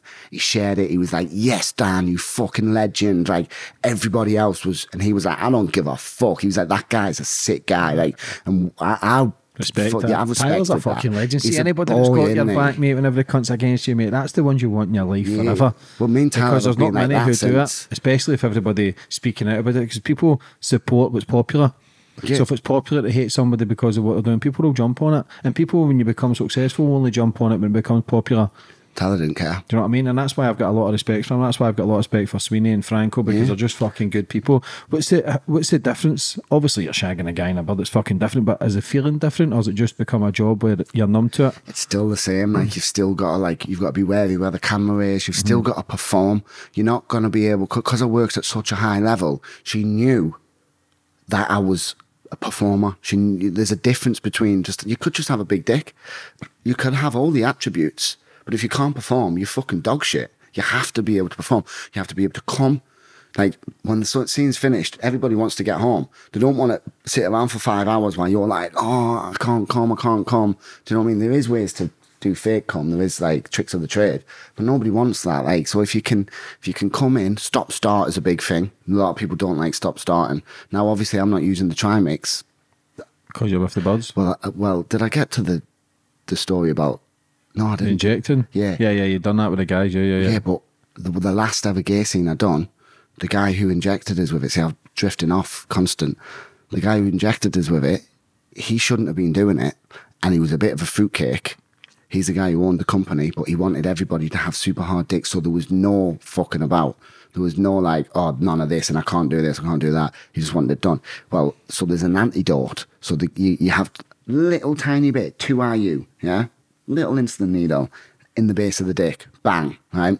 And when you're finished, you have this antidote, and it's about a mil, right? About a mil, maybe more. So quite a lot, a lot different, yeah? You put that in, if you're still hard, it'll bring you down, because mate, it's like, vroom, vroom, it's like a heartbeat in your dick. All the blood is rushed to your dick. Like, you just feel like it's going to explode at some point. So it's not good to have it up for a long time. So anyway, I'm like, can, I, can you bring me down? He's like, yeah. Like I said, the guy's on Adderall and like he's he's fucking like this all the time. He's a bit of a fruitcake. Super successful, like, but just a bit of a fucking loon. He mixed the bottles up. So he gave me a fucking he gave me a lethal dose of Trimix. So rather than have an antidote, he gave me a fucking mill of Trimix. So I'm like, this this is getting worse. I'm like, this is sore, mate. And he's like, ah, you'd be good. Go and have a cold shower. Go for a run. Get the blood flowing around your body and that. I'm like, all right, what the fucking hardest dick you can think of. And I'm running around. Was This was Barcelona, this in the fucking hills. So I'm running around like big hard on in, in Barcelona. Trying, and I'm come back and I'm like, mate, it's been an hour now. I'm like, it's not coming down. And then he's went in his thing and he's like, and I just see his face go red and he starts shaking. He's like, fuck. And I'm like, what? And he's on the phone to his doctor and he's like, uh, uh, and he's Russian. So he starts speaking Russian to this doctor. And I'm, I'm like, what's going on? And then the manager guy's like, go and stand up. I'm, I'm not standing fucking nowhere. I realised he, what you've done. I thought, fuck. And I was hard for about eight, nine hours. So because you can't give me too much of the antidote at once, I've had way too much Trimix to the point you're probably going to need 10, 20 mil of the antidote to get it down, but you can't give me that much in one because that much liquid going into your dick is it's fucking ridiculous. You'll end up like with lumps or whatever. It, it can be bad. And honestly, I thought I was going to lose my dick. So after about like every every hour, every 90 minutes, he'd come and he'd give me another mill and I'd have to like massage it and it, nothing was happening, mate. Nothing was happening. And eventually it started to go down. Um, and after that, I was in contract with him then. And after that, I texted him when I got home and I was like, look, he's one of them because he's quite disliked in the industry because he's a knob. He doesn't like talking through text because screenshots so easy. So um, I messaged him and I said, look, I want out my contract. I said, with everything what happened in in Barcelona, I think it's only fair you let me out my contract. And he was like, just text back, released. I was like, gone, I'm done. And that was the last time I worked for them. Gay, that was 2019. I've done OnlyFans since. I mean, I've fucking thrived on OnlyFans since. Like, once I realised that's my income now is OnlyFans. And without it, and I couldn't give a fuck what anyone has to say about how I make my money because I'm fucking Doing well. You do I all think right. You've got to have that mentality though in that industry. You've got to not Yeah, I'm not rich. I'm not rich by the slightest. by. But I don't have to work. Yeah. I can train every day. I've moved to Wigan. So I moved from Blackpool to Wigan. I got a house in Wigan. I moved there. I, I live five minutes away from my kids. I pick my kids up from school. Like I said, I missed a little bit while I was in Blackpool. Couldn't do anything. Now I'm picking my kids up from school three times a week. They're staying at mine on the weekends. My daughter's at that age where if she wants to just ring and go, Daddy, can I come to yours? I'm like, yeah, I'll come get you. What, whatever. So you've got a bit of structure in your life. I'm I'm buzzing Yeah. now. so when's your next fight? September, I hear. September 3rd, yeah. Um, Who are you fighting and where's this? London O2, defending my world title, first events, against a French dude from King of the Streets. Have you seen that King of the Streets? Not nutcases, mate. I don't want to treat you. Yeah. It's good that there's a there's a set of rules in that Yeah. ring because that King of the Streets is brutal. There's a guy who fights for BKB called Eric Olson, American dude. He fights for King of the Streets, mate, and he's just won his last fight by eye gouge. Yeah. He's got put his thumb the eye out. in the eye. That's how he won the fight. The guy was I've never heard a grown man scream like that. Yeah, fuck that, brother. How are you feeling today then after releasing? I'm fine, feeling good. Yeah, let's say a bigger audience where people realise. I've been excited that- to get on. Just to tell your story and you've been through a mad journey. It's Yeah. not what. There's not many people been through that life, mate. From the gay porn to the army to prisons to fucking then world, no world champion bare knuckle No fighter. one in bare knuckle can say anything. But do you feel as if you're constantly trying to Yeah. prove to others? Yeah. Especially the fighters, the BKB fighters. How does it make you feel when people are homophobic against you knowing that your brother's gay? Does that upset you as well? Does that fuel your fire a bit? The fucking world, isn't it, mate? And like I said, these people who are who are homophobic, it's because they dislike their own life. That guy I'm telling you about, who I was supposed to fight on BKB, um, who now fights for the other company, he is so homophobic. He's still putting gay statuses about me. When I win a fight, he'll be like. Because I fucking mentioned him stupidly in a post-fight interview. I don't know why. My adrenaline, James, fuck. After winning that fight, because like I said, it was a big fuck you to everybody. So I went and done my post-fight interview. I was flying, and I'm chatting to the guy, and I said, I was talking about opportunities, and I said, and I looked at the camera, and I was like, because that's what happens. I said his name. So when you take fights, I said if you take fights, things like this can happen. I had my belt and everything. I was like, this is what because he would never take them sort of fights. He was turning all these people down. So I was like, and I went mad. And then he put a status saying, oh. The fucking gay boy still mentioning my name, blah blah blah. He's so homophobic that I'm telling you now, like he he's he's fucking gay, and the guy is a prolific woman beater. Like he's been in jail for beating up women. Like he put a status in, "I'll never fight this guy because because of his job. I get no glory in beating a guy like that, but he gets glory beating up journeymen who have never won a fight or women. Like it, it, there was an article about him, about him battering his ex bird, and it was fucking harrowing to read, mate. It was it was horrible, and I thought everybody within the in, in the scene knows what he's like now, so it's just like they're just fucking ignore him. But he'll never fight it If he's got a problem, fight me then. Because that's what we do as fighting men, don't you? If you've got beef with someone, he's the only person on the fucking planet I've got beef with now. Uh, so if you've got beef with someone, settle it. Considering we're both professional bare knuckle fighters, well, that's not settling in the ring. But he knows because he's watched us. He knows he doesn't win that fight. He knows he doesn't win that fight. So How do you move forward from here then, brother? What's uh, the plans for the future? still keep doing porn when I'm booked. Like I say, I'm getting booked a lot for straight porn these days. Um, Would you ever is- go back to gay porn? Probably not, no. The money was right, big offer. If the money was right, yeah. the money was right, yeah. But I, I like I say, I don't think I could now injecting myself with that that stuff. I, I think I'd lose the plot because mm-hmm. it that like that would mentally drain us. So with the gay porn, I mean, with the straight porn, it's fucking a hell of a lot easier, obviously. It's still not sex. So this is why, like, my girlfriend's all right with it now. Since Tyler got into the scene, he was with he was with Alessa. He's saying like, look, he was with a porn star. He's saying to people, look, it's not what you think. Porn, once them cameras are running, it's not passionate. You're gonna act passionate, but as soon as it says cut, you're back to fucking me and you chatting like this. Some of them have got husbands. Some of them have got. Do you know what I mean? Like the, the one of the girls I work with, she's got a husband, like, and they're like that, but she's a porn star. Like, it's mm. it's work. It, it's not. Yeah. So she adjusted to that. We done the we done a couple straight porn scenes, and now she books me all the time. I've got another booking on the seventh of October for straight, but until then, it's just I market myself to the gay market because they're the ones who subscribe to my OnlyFans. Business, mate, on it. I only have to have a, a shower. I'll have a wank in the shower. I'll, I'll put my put my phone up, record, I'll wash myself, I'll fucking play with myself, I'll be like, "Wee, helicopter, whatever. Do you know what I mean? And I'll just post that up, and people are subscribing, tenner a month. What is all your social media links? Put, plug them now as So well. Instagram is uh, Dan McGraffin. My OnlyFans is Dan McGraffin. Um, OnlyFans.com forward slash Dan McGraffin. Um, I have bought a URL to that and linked it up, which is danmcgraffin.co.uk. Um, which is just going to take you straight to my OnlyFans. That's if you want to watch it. If you don't, some some nosy people just go and have a look. But crack on, it all goes in my bank at the end of the money, day. mate. Would you like to finish up on anything, brother? Yeah, me fight. Tune into me fight. 3rd of September, the London O2 against some crazy undefeated international king of the streets dude, which is going to be fireworks. Like, that's my next thing. Good on you, bro. Listen, Yeah, Dan, for nice coming on one. today and telling your story. Thank you. I wish you all the best for the future. Good luck with your fight and keep smashing it, brother. That's it. Nice one, mate.